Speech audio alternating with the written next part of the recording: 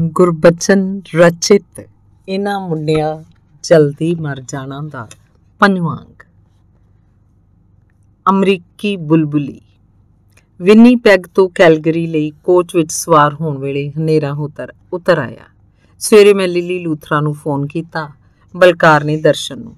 ਬਲਕਾਰ ਕਹੇ, ਪੁਰਾਣਾ ਨਕਸਲੀ ਹੈ ਦਰਸ਼ਨ। ਤੈਨੂੰ ਜਾਣਦਾ ਹੈ ਕੈਲਗਰੀ 'ਚ ਕੈਬ ਚਲਾਉਂਦਾ ਤੈਨੂੰ ਲੈਣ ਆਏਗਾ। ਲਿਲੀ ਲੂਥਰਾ ਨੇ ਫੋਨ ਤੇ ਕਿਹਾ ਹਾਊ ਨਾਈਸ ਤੁਹਾਡੇ ਜੇ ਇੰਟੈਲੈਕਚੁਅਲ ਮਿਲਦੇ ਕਿੱਥੇ ਨੇ? ਮੇਰੇ ਕੋਲ ਰਹਿਣਾ, ਮੈਂ ਕੈਲਗਰੀ ਪਹੁੰਚ ਕੇ ਉਹਨੂੰ ਫੋਨ ਕਰਨਾ ਸੀ। ਬਲਕਾਰ, ਦਰਸ਼ਨ ਵਧੀਆ ਬੰਦਾ ਹੈ। ਇਹਦੀ ਪਹਿਲੀ ਬੀਵੀ ਨੇ ਦਗਾ ਦਿੱਤਾ ਹੈ, ਦੂਜੀ ਲਿਆਇਆ ਇੰਡੀਆ ਤੋਂ। ਤੂੰ ਉਹਦੇ ਕੋਲ ਹੀ ਨਹੀਂ ਪਾਸ਼ ਨੂੰ ਬਹੁਤ ਯਾਦ ਕਰਦਾ ਹੈ। ਕੋਚ ਵਿੱਚ ਸੋਚ ਫਿਰ ਕੀ ਤੇਜ਼ ਘੁੰਮਣ ਲੱਗੀ। ਕਦੇ ਸਿੱਧੀ, ਕਦੇ ਪੁੱਠੀ, ਕਦੇ ਡਾਇਲਾਗ ਉੱਡਣੇ ਸ਼ੁਰੂ ਹੋਏ ਲਿਲੀ ਨੂੰ ਫੋਨ ਕਰਾਂਗਾ, ਉਹ ਇਕੱਲੀ ਹੈ। ਇਹ ਦਰਸ਼ਨ ਕੌਣ ਹੈ? ਦਰਸ਼ਨ ਉਹੀ ਹੈ ਜਿਹਦਾ ਵੱਡਾ ਭਰਾ ਖਾਲਸਾ ਕਾਲਜ 'ਚ ਮੇਰੇ ਨਾਲ ਪੜ੍ਹਦਾ ਸੀ। ਇਹ ਮੁੰਡਾ 10ਵੀਂ 'ਚ ਫੇਲ ਹੋ ਕੇ ਘਰੋਂ ਫਰਾਰ ਹੋ ਗਿਆ। ਲਿਲੀ ਨੇ ਫਿਰਕੀ ਤੇ ਹਮਲਾ ਕੀਤਾ ਤੇ ਦਰਸ਼ਨ ਬਾਹਰ। ਮੇਰੀ ਕੁੰਡੀ ਲਿਲੀ ਲੂਥਰਾ ਨਾਲ ਜੁੜੇ ਡਾਇਲਾਗਾਂ 'ਚ ਜਾ ਖੂਬੀ। ਪੁਰਾਣੇ ਜ਼ਮਾਨੇ ਦੀ ਗੱਲ ਹੈ, ਦਿੱਲੀ ਵਿੱਚ ਇਸ ਲਿਲੀ ਨੂੰ ਮੈਂ ਕਲੱਬ 'ਚ ਰੰਮੀ ਖੇਡਦੇ ਦੇਖਦਾ। ਸਾਲਾਂ ਦੇ ਸਾਲ ਬੀਤ ਗਏ, ਅਚਾਨਕ ਨਿਊਯਾਰਕ 'ਚ ਇਹਦੇ ਨਾਲ ਮੁਲਾਕਾਤ ਹੋਈ। ਉਹਦੀ ਬੇਟੀ ਦੀਪਾ ਦੀ ਬਰਥਡੇ ਪਾਰਟੀ ਵੇਲੇ। 5 ਸਾਲਾਂ ਬਾਅਦ ਨਿਊਯਾਰਕ ਮੈਂ ਦੁਬਾਰਾ ਗਿਆ। ਦੀਪਾ ਨੇ ਦੱਸਿਆ, ਮੰਮੀ ਅੱਜਕੱਲ ਕੈਲਗਰੀ 'ਚ ਹੈ। ਦੀਪਾ ਮੇਰੇ ਭਾਂਜੇ ਦੀ ਬੀਵੀ ਡੋਲੀ ਦੀ ਸਹੇਲੀ ਹੈ। ਡੋਲੀ ਨੇ ਕਿਹਾ, ਵਿਜੇ ਗਰੋਵਰ ਅੰਕਲ ਦੀ ਡੈਥ ਤੋਂ ਬਾਅਦ ਲਿਲੀ ਆਂਟੀ ਬਹੁਤ ਡਿਪਰੈਸ ਰਹਿਣ ਲੱਗੀ। ਨਿਊਯਾਰਕ ਤੋਂ ਗਾਇਬ ਹੋ ਗਈ। ਇੱਕ ਦਿਨ ਟੋਰਾਂਟੋ ਤੋਂ ਦੀਪਾ ਨੂੰ ਫੋਨ ਆਇਆ, ਮੈਂ ਤੇ ਰਾਜ ਗਰੇਵਾਲ ਨੇ ਸ਼ਾਦੀ ਕਰਵਾ ਲਈ ਹੈ। ਮੈਂ ਟੋਰਾਂਟੋ ਹੀ ਰਹਾਂਗੀ। ਇੱਥੇ ਮੈਨੂੰ ਲਿਲੀ ਗਰੇਵਾਲ ਕਹਿੰਦੇ ਨੇ। ਮੈਨੂੰ ਇਹ ਨਾਂ ਚੰਗਾ ਲੱਗਦਾ ਹੈ, ਜ਼ਿਆਦਾ ਕੈਚੀ ਹੈ। ਕੌਣ ਹੈ ਰਾਜ ਗਰੇਵਾਲ? ਡੋਲੀ। ਵਿਜੇ ਗਰੋਵਰ ਅੰਕਲ ਦਾ ਦੋਸਤ ਹੁੰਦਾ ਸੀ ਇਹ ਰਾਜ ਗਰੇਵਾਲ। ਕੈਨੇਡਾ 'ਚ ਟਰਾਂਸਪੋਰਟ ਦਾ ਬਿਜ਼ਨਸ ਹੈ। ਨਿਊਯਾਰਕ 'ਚ ਵੀ ਟਰੱਕ ਨੇ। ਮੇਰਾ ਭਾਂਜਾ ਬੋਲਿਆ, ਇਹ ਮੈਡਮ ਲਿਲੀ ਲੂਥਰਾ ਮਾਮੂਲੀ ਸ਼ੈ ਨਹੀਂ। ਗਰੋਵਰ ਅੰਕਲ ਦਾ ਮੈਨ ਹਟਣ ਵਾਲਾ ਫਲੈਟ ਵੀ ਮਾਰ ਲਿਆ। ਅੱਜ ਕੱਲ ਦੀਪਾ ਰਹਿੰਦੀ ਹੈ ਉੱਥੇ। ਇਹਨਾਂ ਲੋਕਾਂ ਦੀ ਆਪਣੀ ਦੁਨੀਆ ਹੈ। ਕਿਹੋ ਜੀ ਦੁਨੀਆ ਇਹਨਾਂ ਦੀ? ਮੈਂ ਪੁੱਛਿਆ। ਭਾਂਜਾ ਤੁਸੀਂ ਨਹੀਂ ਸਮਝ ਸਕਦੇ। ਮੈਂ ਕੀ ਨਹੀਂ ਸਮਝ ਸਕਦਾ? ਮੇਰਾ ਭਾਂਜਾ ਤੇ ਉਹਦੀ ਬੀਵੀ ਦੋਵੇਂ ਮੇਰੇ ਵੱਲ ਦੇਖਣ ਲੱਗ ਪਏ। ਜਿੱਦਾਂ ਫਜ਼ੂਲ ਸਵਾਲ ਪੁੱਛਣ ਵਾਲੇ ਵੱਲ ਦੇਖੀਦਾ ਡੋਲੀ ਨੇ ਆਪਣੇ ਮੀਆਂ ਵੱਲ ਤਿੱਖੀ ਨਜ਼ਰ ਕਰਦਿਆਂ ਕਿਹਾ, ਕਿਸੇ ਦੀ ਪਰਸਨਲ ਲਾਈਫ ਬਾਰੇ ਇਦਾਂ ਦੀਆਂ ਗੱਲਾਂ ਨਹੀਂ ਕਰਨੀਆਂ ਚਾਹੀਦੀਆਂ। ਕਿੱਦਾਂ ਦੀਆਂ ਗੱਲਾਂ? ਮੈਂ ਪੁੱਛਿਆ। ਇਸ ਸਵਾਲ ਨਾਲ ਉਹ ਦੋਵੇਂ ਚੁੱਪ ਹੋ ਗਏ। ਦੌੜਦੇ ਕੋਚ 'ਚ ਖਿੜਕੀ ਵਾਲੇ ਪਾਸੇ ਬੈਠਾ ਮੈਂ, ਜ਼ਹਿਨ 'ਚ ਸਵਾਰ ਲਿਲੀ ਬਾਹਰ ਹਨੇਰਾ ਡਾਇਲੌਗ ਤੇ ਡਾਇਲੌਗ ਉੱਡੀ ਆ ਰਹੇ ਹਨ। ਮੈਂ ਲਿੱਲੀ ਕੋਲ ਹੀ ਰਹਾਂਗਾ। ਉਹਦਾ ਚਿਹਰਾ ਪਹਿਲਾਂ ਵਾਂਗ ਦਗ ਦਗ ਕਰਦਾ ਨਹੀਂ ਹੋਣਾ। ਲਿੱਲੀ ਇਕੱਲੀ ਰਹਿੰਦੀ ਹੈ ਕੈਲਗਰੀ। ਟਰਾਂਸਪੋਰਟਰ ਰਾਜ ਗਰੇਵਾਲ ਨਾਲ ਉਹਦੀ ਸ਼ਾਦੀ ਟੁੱਟ ਚੁੱਕੀ ਹੈ। ਰਿਸ਼ਤਿਆਂ ਦੀ ਗਲੋਬਲਾਈਜੇਸ਼ਨ 'ਚ ਇਦਾਂ ਹੀ ਹੁੰਦਾ ਹੈ। ਕਿਨੇ ਬੋਲਿਆ ਸੀ ਰਿਸ਼ਤਿਆਂ ਦੀ ਗਲੋਬਲਾਈਜੇਸ਼ਨ ਵਾਲਾ ਜੁਮਲਾ? ਨਿਊਯਾਰਕ ਦੀ ਚਹਿਲ ਪਹਿਲ ਤਿਆਗ ਕੇ ਲਿਲੀ ਦਾ ਕੈਲਗਰੀ ਆ ਜਾਣਾ। ਵਿਜੇ ਗਰੋਵਰ ਦੀ ਕਾਰ ਕ੍ਰੈਸ਼ 'ਚ ਮੌਤ ਹੋ ਜਾਣਾ। ਉਸ ਕਾਰ ਕ੍ਰੈਸ਼ 'ਚ ਲਿਲੀ ਦਾ ਬਚ ਜਾਣਾ। ਲਿਲੀ ਦਾ ਡਿਪਰੈਸ਼ਨ 'ਚ ਖੁੱਭ ਜਾਣਾ, ਲਿਲੀ ਲੂਥਰਾ ਦਾ ਲਿਲੀ ਗਰੇਵਾਲ ਬਣ ਜਾਣਾ। ਲਿਲੀ ਇੱਕ ਇੱਕ ਕੁੰਡੀਆਂ ਨੇਕ। ਡਾਇਲੌਗ ਜਦ ਖੌਰੂ ਪਾਉਂਦੇ ਨੇ, ਉਹ ਇਕੱਲੇ ਨਹੀਂ ਹੁੰਦੇ। ਪੁਰਾਣੇ ਬਿੰਬ ਵੀ ਉਧੜ ਗੁੱਧੜ ਉਛਲਣ ਲੱਗਦੇ ਨੇ। ਫਿਰਕੀ 'ਚ ਕਿੰਨਾ ਕੁਝ ਵਾਪਰੀ ਜਾਂਦਾ, ਬੰਦਾ ਮਨ ਆਈ ਕਰੀ ਜਾਂਦਾ। ਫਿਰਕੀ 'ਚ ਜੋ ਕਾਰਾ ਹੋ ਰਿਹਾ ਹੁੰਦਾ, ਦੇਖਣ ਸੁਣਨ ਵਾਲਾ ਕੋਈ ਨਹੀਂ। ਕ੍ਰਿਸ਼ਨ ਚੰਦਰ ਨੇ ਕਦੇ ਲਿਖਿਆ, ਉਹ ਅੰਦਰੋਂ ਅੰਦਰ ਕਈ ਬੰਦਿਆਂ ਦਾ ਕਤਲ ਕਰ ਬੈਠਾ ਹੈ, ਕਈਆਂ ਔਰਤਾਂ ਨਾਲ ਸੌਂ ਚੁੱਕਾ ਹੈ। ਫਿਰ ਵੀ ਉਹ ਪਹਿਲਾਂ ਵਰਗਾ ਅਫਸਾਨਾ ਨਿਗਾਰ ਕ੍ਰਿਸ਼ਨ ਚੰਦਰ ਰਹਿੰਦਾ ਹੈ। ਇੱਜ਼ਤਦਾਰ, ਸ਼ਾਨਦਾਰ, ਰੂਪਦਾਰ, ਸ਼ਰੀਫ ਆਦਮੀ। ਲਿਲੀ ਬਾਰੇ ਹੋਰ ਡਾਇਲੌਗ ਕੁੱਦਣੇ ਸ਼ੁਰੂ ਹੋਏ। ਲਿਲੀ ਬਦਲ ਗਈ ਹੈ, ਲਿਲੀ ਦੀ ਉਮਰ ਵੱਧ ਗਈ ਹੈ, ਲਿਲੀ ਕੱਲੀ ਹੈ, ਲਿਲੀ ਅਜੇ ਵੀ ਖੂਬਸੂਰਤ ਹੈ। ਮੈਂ ਲਿਲੀ ਕੋਲ ਰਹਾਂਗਾ। ਉਹ ਦਿੱਲੀ 'ਚ ਲਿਲੀ ਲੂਥਰਾ ਹੁੰਦੀ ਸੀ। ਤਦ ਮੇਰੀ ਬੁੱਧੀ ਵਿਸ਼ਲੇਸ਼ਣੀ ਡਾਇਲੌਗ ਬੋਲਦੀ ਹੁੰਦੀ ਸੀ। ਉਹ ਸੰਤ ਵਿਹਾਰ ਕਲੱਬ 'ਚ ਤਾਸ਼ ਖੇਡਦੀ ਲਿਲੀ ਨੂੰ ਦੇਖਿਆ ਤਾਂ ਮੈਂ ਟਿਕਾ ਕੇ ਪ੍ਰਗਤੀਸ਼ੀਲ ਡਾਇਲੌਗ ਠੋਕਿਆ। ਦਿੱਲੀ ਦੀ ਇਹ ਵੇਲੜ ਲੋਟੂ ਜਮਾਤ। ਇਹਨਾਂ ਔਰਤਾਂ ਨੂੰ ਸਵਾਏ ਕਿੱਟੀ ਪਾਰਟੀ ਜਾਂ ਤਾਸ਼ ਖੇਡਣ ਦੇ ਹੋਰ ਕੰਮ ਨਹੀਂ। ਸੋਚ ਫਿਰਕੀ ਰੁਕ ਗਈ ਹੈ ਕਿਉਂ ਰੁਕੀ ਹੈ ਫਿਰਕੀ ਲਿਲੀ ਲੂਥਰਾ ਗਾਇਬ ਹੋ ਗਈ ਹੈ ਮੇਰੇ ਨਾਲ ਵਾਲੀ ਸੀਟ ਤੇ ਇੱਕ ਮੋਟੀ ਭਾਰੀ ਕੁੜੀ ਜੋ ਆ ਬੈਠੀ ਹੈ ਇਹ ਕੁੜੀ ਬਿਲਕੁਲ ਪਿਛਲੀ ਸੀਟ ਤੇ ਬੈਠੀ ਹੋਈ ਸੀ। ਕਿਉਂ ਆ ਗਈ ਹੈ ਇੱਥੇ? ਉਹਦਾ ਭਾਰਾ ਜਿਸਮ ਮੇਰੇ ਜਿਸਮ ਤੇ ਡਿੱਗੀ ਜਾਂਦਾ ਹੈ ਤੇ ਮੈਂ ਡਿਸਟਰਬ ਹੋ ਗਿਆ। ਫਿਰਕੀ ਦਾ ਮਾਮਲਾ ਹੀ ਐਸਾ ਹੈ ਕੋਸ਼ਿਸ਼ ਕੀਤੇ ਨਾ ਹੀ ਚਲਦੀ ਹੈ, ਨਾ ਰੁਕਦੀ ਹੈ। ਇਹ ਕੁੜੀ ਇੰਨੀ ਮੋਟੀ ਕਿਉਂ ਹੈ? ਲਾਸ ਐਂਜਲਸ ਵਾਲੇ ਕਰਮਜੀਤ ਨਲਵਾ ਦੇ ਸੂਰ ਵਾਂਗ ਫੈਲੋ ਮੁੰਡੇ ਆ ਦਾਖਲ ਹੁੰਦੇ ਨੇ ਬਿਨਾਂ ਚਾਹਿਆ, ਬਿਨਾਂ ਪੁੱਛਿਆ। ਨਾਲ ਹੀ ਉਹਨਾਂ ਦੇ ਪਿਓ ਦਾ ਡਾਇਲੌਗ ਆ ਕੁੱਦਦਾ ਹੈ। ਨਲਵੇ ਦਾ ਡਾਇਲੌਗ ਮੁੰਡਿਆਂ ਬਾਰੇ, ਕਿਵੇਂ ਕੰਜਰ ਦੇ ਸੂਰ ਵਾਂਗ ਫਿੱਟੀ ਜਾਂਦੇ ਨੇ। ਘਰ ਰੋਟੀ ਕਦੇ ਨਹੀਂ ਖਾਂਦੇ। ਮੈਂ, ਕੀ ਖਾਂਦੇ ਨੇ ਤੇਰੇ ਮੁੰਡੇ? ਜੰਕ ਫੂਡ ਖਾਂਦੇ ਨੇ।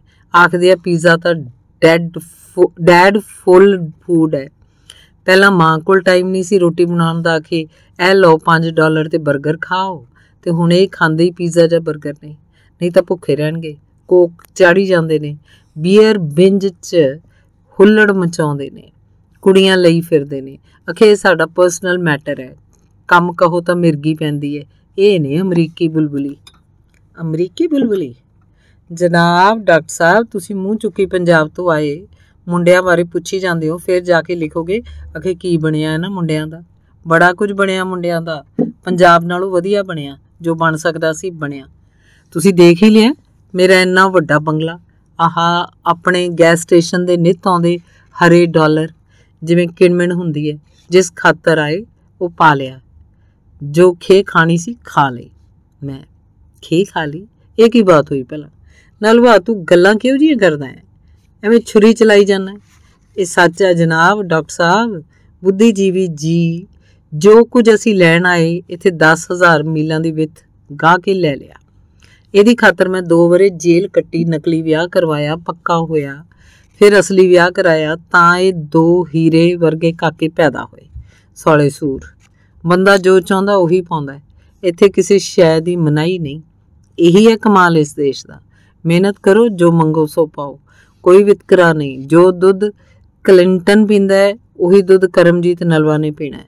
ਬੰਦਾ ਦੁੱਧ ਹਜ਼ਮ ਤਾਂ ਕਰਦਾ ਹੈ, ਪਰ ਇਥੋਂ ਦੀ ਭਕਾਈ 'ਚ ਆਪ ਹਜ਼ਮ ਹੋਈ ਜਾਂਦਾ ਹੈ। ਇਹੀ ਹੈ ਅਮਰੀਕੀ ਬੁਲਬੁਲੀ ਕੇ ਬੰਦਾ ਸਭ ਕੁਝ ਪਾ ਕੇ ਵੀ ਆਪ ਹਜ਼ਮ ਹੋਈ ਜਾਂਦਾ ਹੈ। ਮੈਂ ਅਮਰੀਕੀ ਬੁਲਬੁਲੀ, ਹਜ਼ਮ ਹੋਈ ਜਾਂਦਾ ਹੈ। ਬੰਦੇ ਨੂੰ ਗੱਲ ਸਪਸ਼ਟ ਕਰਨੀ ਚਾਹੀਦੀ ਹੈ। ਤੂੰ ਕੋਈ ਕਵਿਤਾ ਨਹੀਂ ਲਿਖ ਰਿਹਾ। ਉਹ, ਪਹਿਲਾਂ ਮੈਂ ਆਪਣੀ ਗੱਲ ਖਤਮ ਕਰ ਲਵਾਂ, ਇਹੋ ਨੁਕਸਾ ਇੰਡੀਆ ਤੋਂ ਆਏ ਬੁੱਧੀਜੀਵੀਆਂ 'ਚ। ਆਪਣੀ ਠੋਕੀ ਜਾਣਗੇ। ਮੈਂ ਜਿੱਚ ਹੋਇਆ ਉਹਦੇ ਚਿਹਰੇ ਵੱਲ ਵੇਖਣ ਲੱਗਾ। ਮੈਂ, ਨਲਵਾ, ਇਹ ਜਿਹੜਾ ਤੂੰ ਬੁੱਧੀਜੀਵੀ ਦੀ ਰੱਟ ਲਾਈ ਹੋਈ ਹੈ, ਇਸ ਲਫ਼ਜ਼ ਤੋਂ ਮੈਨੂੰ ਚਿੜ ਹੈ। ਉਹ ਤੁਸੀਂ ਗੱਲ ਸੁਣਦੇ ਹੀ ਨਹੀਂ ਤਾਂ ਮੈਂ ਹੋਰ ਕੀ ਕਹਾਂ? ਮੈਂ ਇਹੀ ਕਿਹਾ ਕਿ ਅਮਰੀਕਾ 'ਚ ਸਭ ਕੁਝ ਮਿਲਦਾ ਹੈ। ਬੰਦਾ ਜਿੱਦਾਂ ਦੀ ਝੱਖ ਮਾਰਨੀ ਚਾਹੇ ਝੱਖ ਮਾਰ ਲਵੇ, ਪਰ ਗੱਲ ਇੱਥੇ ਹੀ ਖਤਮ ਨਹੀਂ ਹੋ ਜਾਂਦੀ। ਮੈਂ, ਕਿੱਥੇ ਖਤਮ ਹੁੰਦੀ ਹੈ ਗੱਲ? ਨਲਵਾ, ਗੱਲ ਇੱਥੋਂ ਸ਼ੁਰੂ ਹੁੰਦੀ ਹੈ। ਅਸੀਂ ਹੁਣ ਮੁੰਡੇ ਨਹੀਂ ਰਹੇ। ਮੁੰਡਿਆਂ ਤੋਂ ਗਾਂ ਮੁੰਡੇ ਕੁੜੀਆਂ ਵੀ ਹੋ ਗਏ। ਉਹਨਾਂ ਬਾਰੇ ਵੀ ਪੁੱਛੋ। ਮੇਰੇ ਘਰ ਦਾ ਸਵਿਮਿੰਗ ਪੂਲ ਦੇਖ ਲਿਆ ਤੇ ਵਾਪਸ ਪੰਜਾਬ ਜਾ ਕੇ ਲਿਖੋਗੇ, ਨਲਵੇ ਨੇ ਸਵਿਮਿੰਗ ਪੂਲ ਕੋਲੇ ਹਰ ਇੱਕ ਚੂਰ ਘਾਹ ਤੇ ਕੁਰਸੀਆਂ ਲਗਾ ਲਈਆਂ। ਉਹਦੀ ਬੀਵੀ ਨੇ ਮਾਈਕਰੋ ਕੀਤਾ ਮੁਰਗਾ ਮੇਜ਼ ਤੇ ਲਿਆ ਟਕਾਇਆ। ਨਲਵੇ ਨੇ ਬਲੈਕ ਲੇਬਲ ਦਾ ਡਾਟ ਖੋਲਦਿਆਂ ਕਿਹਾ, ਲਓ ਭਾਜੀ, ਛਕੋ।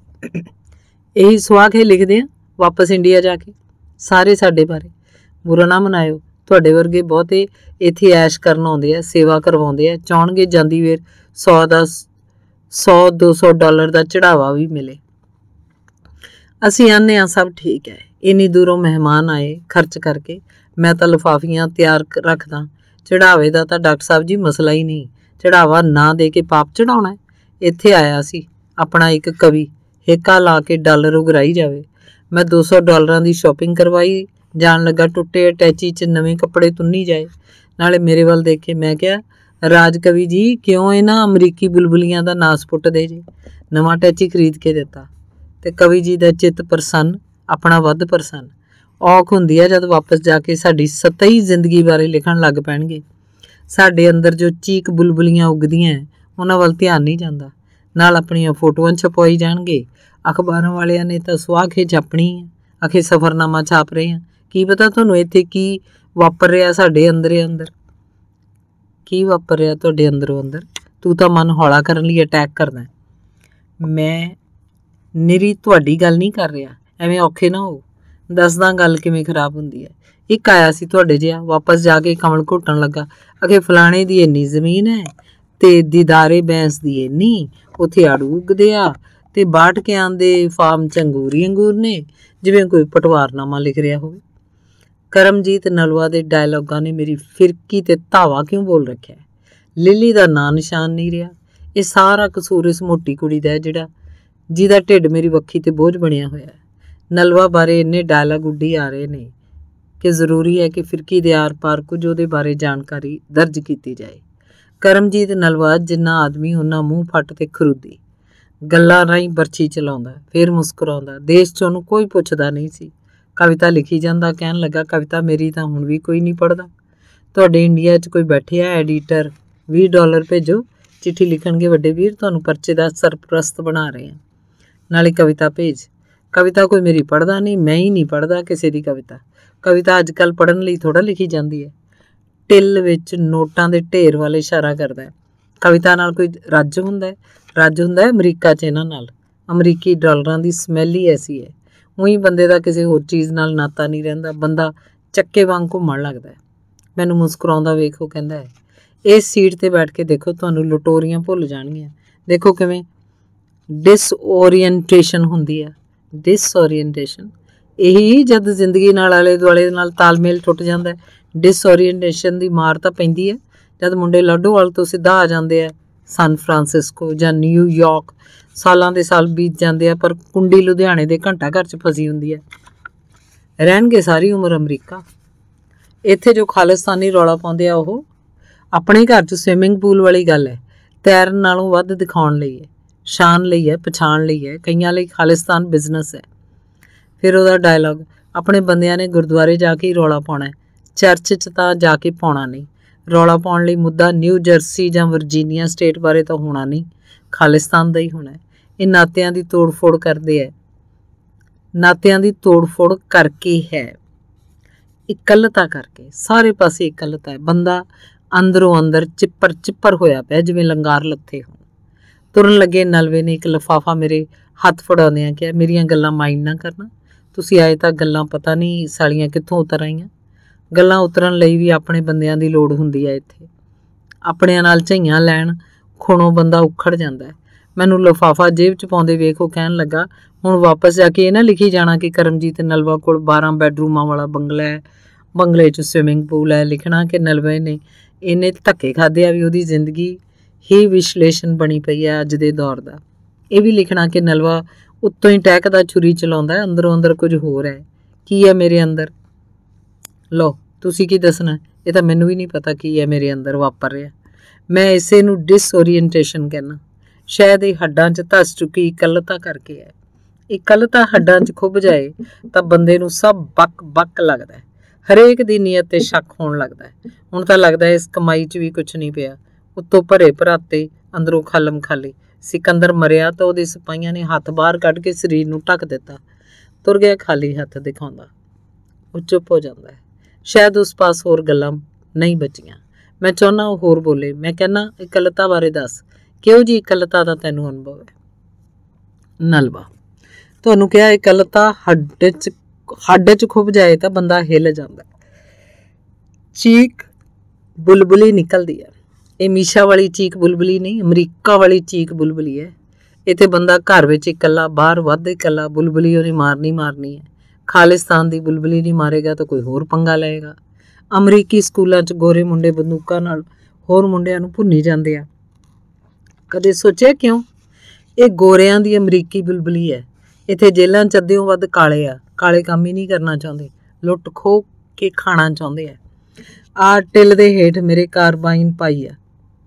ਕਾਰਬਾਈਨ ਪਈ ਆ। ਕੋਈ ਪਤੰਦਰ ਅੱਧੀ ਰਾਤ ਆ ਕੇ ਧਾਵਾ ਬੋਲਦੇ ਇਹ ਉਹਦੀ ਸੇਵਾ ਲਈ ਆ। ਕਾਲਿਆਂ ਦੇ ਅੰਦਰ ਅੰਦਰ ਕਾਲਕ ਭਰੀ ਪਈ ਹੈ। ਨਿਕਲਦੀ ਨਹੀਂ। ਜਦ ਨਿਕਲਦੀ ਹੈ ਤਾਂ ਪਿਸਤੌਲ ਚਲਾਉਣ ਲੱਗਦੇ ਆ ਰੋਜ਼ ਅਖਬਾਰਾਂ 'ਚ ਇਹਨਾਂ ਦੀਆਂ ਬੁਲਬੁਲੀਆਂ ਬਾਰੇ ਖਬਰਾਂ ਛਪਦੀਆਂ ਖਾਲਿਸਤਾਨ ਦਾ ਰੌਲਾ ਆਪਣੇ ਬੰਦਿਆਂ ਦੀ ਬੁਲਬੁਲੀ ਹੈ। ਆ ਮੇਰੇ ਮੁੰਡੇ ਸੂਰ ਵਾਂਗ ਫੈਲੀ ਜਾਂਦੇ ਆ। ਅੱਵਲ ਦਰਜੇ ਦੇ ਨਿਕੰਮੇ। ਕਾਰਾਂ ਦੌੜਾਈ ਜਾਣਗੇ। ਘਰ ਦੁਪਹਿਰ ਵੇਲੇ ਆ ਜਾਓ ਤਾਂ ਕਮਰੇ 'ਚ ਗਰਲਫ੍ਰੈਂਡਾਂ ਨਾਲ ਪਏ ਹੋਣਗੇ। ਰੋਕੋ, ਧਾਕ ਕਰਨਗੇ ਇਹ ਵੇਲੜਾਂ ਦੀ ਬੁਲਬੁਲੀ ਹੈ। ਜਿਹੋ ਜਿਹਾ ਸਿਸਟਮ ਉਹੋ ਜੀਆਂ ਬੁਲਬੁਲੀਆਂ। ਬੰਦਾ ਆਪ ਤਾਂ ਹਜ਼ਮ ਹੋਇਆ ਪਿਆ ਸਿਸਟਮ ਹੀ ਦਹਿਸ਼ਤ ਵਾਲਾ। ਹੈ ਨਲਵਾ ਦੇ ਡਾਇਲੌਗ ਕੱਟ ਹੋ ਗਏ ਜਦ ਕੋਚ ਇੱਕ ਖਾਣ ਪੀਣ ਵਾਲੀ ਜਗ੍ਹਾ ਰੁਕਿਆ। ਕੋਚ ਚੱਲਣ ਤੇ ਦੇਖਿਆ, ਉਹ ਮੋਟੀ ਭਾਰੀ ਕੁੜੀ ਗਾਇਬ ਹੈ। ਜ਼ਾਹਿਰ ਹੈ ਇੱਥੇ ਉਤਰੀ ਹੈ।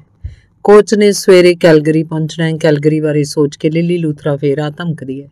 ਇਹ ਬਲਕਾਰ ਕੀ ਕਹੀ ਜਾ ਰਿਹਾ ਹੈ? ਉਹ ਦਫਾਕਾਰ ਇਸ ਮੈਡਮ ਲਿਲੀ ਨੂੰ, ਦਰਸ਼ਨ ਕੋਲ ਕੋਲ ਰਹੀ, ਬੜਾ ਸੰਘਰਸ਼ ਕੀਤਾ ਇਸ ਬੰਦੇ ਨੇ। ਉਹਦੀ ਲਾਈਫ ਸਟੱਡੀ ਕਰੀ, ਦੇਖੀ ਬੰਦੇ ਨਾਲ ਇਦਾਂ ਵੀ ਹੁੰਦਾ ਹੈ।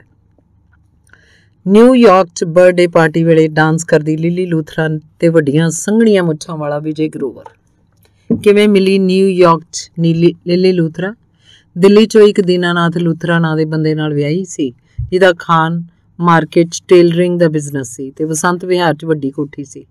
ਮੈਂ ਇਸ ਕਾਲੋਨੀ 'ਚ ਦੋ ਨਿੱਕੇ ਕਮਰੇ ਕਿਰਾਏ ਤੇ ਲਏ ਸੀ ਤੇ ਕਦੇ-ਕਦਾਈ ਬ੍ਰਿਜ ਖੇਡਣ ਮੈਂ ਬਸੰਤ ਵਿਹਾਰ ਕਲੱਬ ਚਲਾ ਜਾਂਦਾ। ਜਿੱਥੇ ਪਹਿਲੀ ਵਾਰ ਮੈਂ ਲਿਲੀ ਨੂੰ ਵੇਖਿਆ। ਲਿਲੀ ਦਾ ਇਹ ਦੀਨਾਨਾਥ ਪਤੀ ਝੁੱਡੂ ਕਿਸਮ ਦਾ ਬੰਦਾ ਸੀ। ਜਨਮ ਦਿਨ ਵਾਲੀ ਪਾਰਟੀ 'ਚ ਮੈਂ ਕਿਹਾ, ਮੈਡਮ, ਮੈਂ ਤੁਹਾਨੂੰ ਜਾਣਦਾ। ਉਹ ਬੋਲੀ ਹਾਊ ਸਵੀਟ ਤੇ ਮੇਰਾ ਹੱਥ ਘੁੱਟ ਲਿਆ। 뮤직 ਦਾ ਸ਼ੋਰ ਸੀ, ਨੌਜਵਾਨ ਮੁੰਡੇ ਕੁੜੀਆਂ ਡਾਂਸ ਕਰ ਰਹੇ ਸੀ। ਮੈਂ ਸੋਫੇ ਤੇ ਬੈਠ ਗਿਆ। ਲਿਲੀ ਗਹਿਰੀਆਂ ਮੁੱਛਾਂ ਵਾਲੇ ਸਮਾਰਟ ਕਿਸਮ ਦੇ ਬੰਦੇ ਨਾਲ ਹੱਸੀ ਜਾ ਰਹੀ ਸੀ। ਮੈਨੂੰ ਨੇੜੇ ਆਉਣ ਦਾ ਇਸ਼ਾਰਾ ਕਰਕੇ ਕਹਿਣ ਲੱਗੀ, ਇਹ ਨੇ ਵਿਜੇ ਗਰੋਵਰ, ਦਿੱਲੀ ਦੇ ਵੱਡੇ ਐਕਸਪੋਰਟਰ ਐਕਸਪੋਰਟ ਦਾ ਅਵਾਰਡ ਮਿਲਿਆ ਗੋਲਫ ਦੇ ਚੈਂਪੀਅਨ। ਗ੍ਰੇਟਰ ਕਲਾਸ ਚ ਇਹਨਾਂ ਦਾ ਘਰ ਐਮ ਬਲਾਕ ਚ ਹੈ। ਉੱਥੇ ਇਹਨਾਂ ਦੀ ਬੀਵੀ ਬੱਚੇ ਨੇ ਨਿਊਯਾਰਕ ਚ ਆ ਕੇ ਸਿਰਫ ਮੇਰੇ ਹੁੰਦੇ ਨੇ। ਖਿੜਖਿੜ ਹਾਸਾ। ਗਰੋਵਰ ਨੇ ਲਿਲੀ ਨੂੰ ਆਪਣੇ ਵੱਲ ਖਿੱਚ ਕੇ ਮੂੰਹ ਤੇ ਚੁੰਮਣ ਰੱਖਿਆ ਤੇ ਕਿਹਾ ਮਾਈ ਸਵੀਟ ਡਾਰਲਿੰਗ ਮੇਰੇ ਵੱਲ ਦੇਖ ਕੇ ਕਿਹਾ, ਇਹ ਹੈ ਰਿਸ਼ਤਿਆਂ ਦੀ ਗਲੋਬਲਾਈਜੇਸ਼ਨ। ਉਹ ਮੇਰੇ ਹੋਰ ਨੇੜੇ ਹੋਇਆ ਤੇ ਡਾਂਸ, ਸੰਗੀਤ ਦੇ ਸ਼ੋਰ ਚੂਚੀ ਬੋਲਿਆ professor you are an intellectual ਹੈਰਾਨ ਨਾ ਹੋ। ਰਵੀ ਸ਼ੰਕਰ ਦੁਨੀਆ 'ਚ ਮੰਨਿਆ ਕਲਾਕਾਰ ਹੈ, ਜਿਸ ਦੇਸ਼ ਉਤਰਦਾ ਹੈ, ਉਹਦੀਆਂ ਫਰੈਂਡਸ ਹੁੰਦੀਆਂ ਜਿਵੇਂ ਲਿਲੀ ਲੂਥਰਾ ਮੇਰੀ ਫਰੈਂਡ ਹੈ ਨਿਊਯਾਰਕ 'ਚ। That is globalization of relationship ਤੁਸੀਂ ਵਰਲਡ ਟੂਰ ਕਰ ਰਹੇ ਹੋ, ਤੁਹਾਨੂੰ ਵੀ ਚਾਹੀਦਾ ਹੈ। ਮੈਨੂੰ ਪਤਾ ਸੀ ਉਹ ਕੀ ਕਹਿਣਾ ਚਾਹੁੰਦਾ, ਮੈਂ ਮੁਸਕਰਾਉਂਦਿਆਂ ਸਿਰ ਹਿਲਾਇਆ। ਇਹ ਜ਼ਾਹਿਰ ਕਰਨ ਲਈ ਕਿ ਤੇਰੀ ਗੱਲ ਤੇ ਮੈਨੂੰ ਅਮਲ ਕਰਨਾ ਚਾਹੀਦਾ ਹੈ। ਸਾਨੂੰ ਦੋਨਾਂ ਨੂੰ ਖੁਸ਼ ਦੇਖ ਮੇਰਾ ਭਾਂਜਾ ਨੇੜੇ ਆ ਕੇ ਕਹਿਣ ਲੱਗਾ ਗਰੋਵਰ ਅੰਕਲ ਬਹੁਤ ਕਮਾਲ ਦੀ ਪਰਸਨੈਲਿਟੀ ਨੇ। Very jolly fellow Vijay Grover ਦੀਆਂ ਸਫੇਦ ਮੁੱਛਾਂ ਖਿੜੀਆਂ। ਘਰ ਆ ਕੇ ਭਾਂਜੇ ਨੇ ਉਹੀ ਇੱਕ ਹੋਰ ਤਰ੍ਹਾਂ ਦੇ ਲੋਕ ਨੇ, ਇਹਨਾਂ ਦੀ ਆਪਣੀ ਦੁਨੀਆ ਵਾਲਾ ਡਾਇਲੌਗ ਬੋਲਿਆ। ਇੱਕ ਡਾਇਲੌਗ ਡੋਲੀ ਨੇ ਵੀ ਬੋਲਿਆ, ਜਿਹੜਾ ਜ਼ਿਕਰ ਮੈਂ ਉੱਪਰ ਨਹੀਂ ਕੀਤਾ। ਉਹ ਇਹ ਸੀ, ਆਂਟੀ ਦੀ ਨੇਚਰ ਬੜੀ ਅੱਛੀ ਹੈ। ਭਾਂਜੇ ਨੇ ਇਹ ਵੀ ਕਿਹਾ, ਗਰੋਵਰ ਅੰਕਲ ਦਾ ਮੈਨਹਟਨ 'ਚ ਫਲੈਟ ਹੈ। ਮੈਨਹਟਨ 'ਚ ਫਲੈਟ ਹੋਣਾ ਕੋਈ ਮਾਮੂਲੀ ਗੱਲ ਨਹੀਂ। ਪਿੱਛੇ ਜੇ ਲੌਂਗ ਆਈਲੈਂਡ 'ਚ ਇੱਕ ਘਰ ਖਰੀਦਿਆ, ਜਿੱਥੇ ਲਿਲੀ ਆਂਟੀ ਰਹਿੰਦੇ ਆ। ਗਰੋਵਰ ਅੰਕਲ ਦੀ ਮਿਸਟ੍ਰੈਸ ਬਣ ਕੇ। ਇਹ ਸੁਣ ਕੇ ਡੋਲੀ ਨੇ ਕਿਹਾ ਸੀ, ਤੁਹਾਨੂੰ ਕਿਸੇ ਦੀ ਪਰਸਨਲ ਲਾਈਫ ਬਾਰੇ ਇਦਾਂ ਦੀਆਂ ਗੱਲਾਂ ਨਹੀਂ ਕਰਨੀਆਂ ਚਾਹੀਦੀਆਂ। ਕੋਚ ਸਟੇਸ਼ਨ ਤੇ ਦਰਸ਼ਨ ਮੈਨੂੰ ਲੈਣਾ ਹੁੰਦਾ ਹੈ। ਉਹਨੇ ਕੈਬ ਡਰਾਈਵਰ ਵਾਲਾ ਨੀਲਾ ਕੋਟ ਪਹਿਨਿਆ ਹੋਇਆ ਹੈ। ਘਰ ਪੁੱਜਣ ਤੱਕ ਉਹ ਦੱਸਦਾ ਹੈ ਕਿ ਕੋਸ਼ਿਸ਼ ਦੇ ਬਾਵਜੂਦ ਪਾਸ਼ ਨੂੰ ਕੈਨੇਡਾ ਦਾ ਵੀਜ਼ਾ ਨਾ ਮਿਲਿਆ। ਮੈਂ ਹੀ ਫਿਰ ਪਾਸ਼ ਨੂੰ ਮਿਲਣ ਗਿਆ ਕੈਲੀਫੋਰਨੀਆ। ਘਰ ਪੁੱਜੇ ਕਾਲੀ ਚ ਦਰਸ਼ਨ ਬੇਸਮੈਂਟ ਦੀਆਂ ਪੌੜੀਆਂ ਉਤਰ ਗਿਆ। ਮੈਂ ਪਿੱਛੇ, ਕਹਿਣ ਲੱਗਾ, ਆ ਜਾਓ। ਅਸੀਂ ਬੇਸਮੈਂਟ 'ਚ ਡੇਰਾ ਲਗਾਇਆ। ਉੱਪਰਲਾ ਹਿੱਸਾ ਕਿਰਾਏ ਤੇ ਦੇ ਦਿੱਤਾ। ਉਹਨੇ ਘੜੀ ਦੇਖੀ, ਮੈਂ ਚਾਹੁੰਦਾ ਸੀ ਮੂੰਹ ਹੱਥ ਧੋ ਕੇ ਚਾਹ ਪੀਵਾਂ, ਨਹਾਵਾਂ, ਆਰਾਮ ਕਰਾਂ, ਥਕਾਵਟ ਲਾਵਾਂ। ਦਰਸ਼ਨ ਚਾਹ ਬਾਰੇ ਪੁੱਛੇਗਾ, ਕੁਝ ਖਾਣ ਦੀ ਗੱਲ ਕਰੇਗਾ, ਉੱਠਿਆ, ਬੋਲਿਆ, ਮੈਂ 10 ਮਿੰਟਾਂ ਨੂੰ ਆਇਆ। ਫਿਰ ਪੌੜੀਆਂ ਚੜ੍ਹਦਿਆਂ ਰੁੱਕ ਕੇ ਬੋਲਿਆ, ਤੁਸੀਂ ਫ੍ਰਿਜ ਦੇਖਿਓ, ਕੁਝ ਪਿਆ ਤਾਂ, ਸਾਹਮਣੇ ਕਿਚਨ 'ਚ ਸ਼ੂਗਰ ਤੇ ਟੀ ਬੈਗ ਨੇ, ਚਾਹ ਬਣਾ ਲਿਓ। ਉਹ ਜਾ ਚੁੱਕਾ ਸੀ। ਮੈਂ ਬਾਥਰੂਮ 'ਚ ਜਾ ਕੇ ਮੂੰਹ ਧੋਤਾ ird-gird ਤੌਲੀਆ ਦੇਖਣ ਲੱਗਾ, ਦਰਸ਼ਨ ਦਗੜ ਦਗੜ ਕਰਦਾ ਪੌੜੀਆਂ ਉਤਰ ਆਇਆ। ਸ਼ਾਇਦ ਉਹ ਕੁਝ ਭੁੱਲ ਗਿਆ ਸੀ। ਕੈਬ ਡਰਾਈਵਰ ਵਾਲਾ ਜੋ ਕੋਟ ਉਹਨੇ ਆ ਕੇ ਉਹਨੇ ਉਤਾਰਿਆ, ਉਹਦੇ ਬਗੈਰ ਹੀ ਚਲਾ ਗਿਆ ਸੀ। ਮੈਂ ਕਿਹਾ, ਇੱਥੇ ਕੋਈ ਤੌਲੀਆ? ਪੌੜੀਆਂ ਚੜਦਿਆਂ ਬੋਲਿਆ, ਇੱਥੇ ਦੇਖ ਲਓ, ਤੌਲੀਆ ਮੈਂ ਹੁਣੇ ਆਇਆ। ਮੈਂ ਸੋਫੇ ਤੇ ਬੈਠ ਕੁਝ ਵੀ ਨਾ ਕਰਨ ਦਾ ਫੈਸਲਾ ਕੀਤਾ। ਸਾਹਮਣੇ ਪੋਸਟਰ ਵੱਲ ਤੱਕਣੀ ਸੁੱਟੀ ਗਿਆ।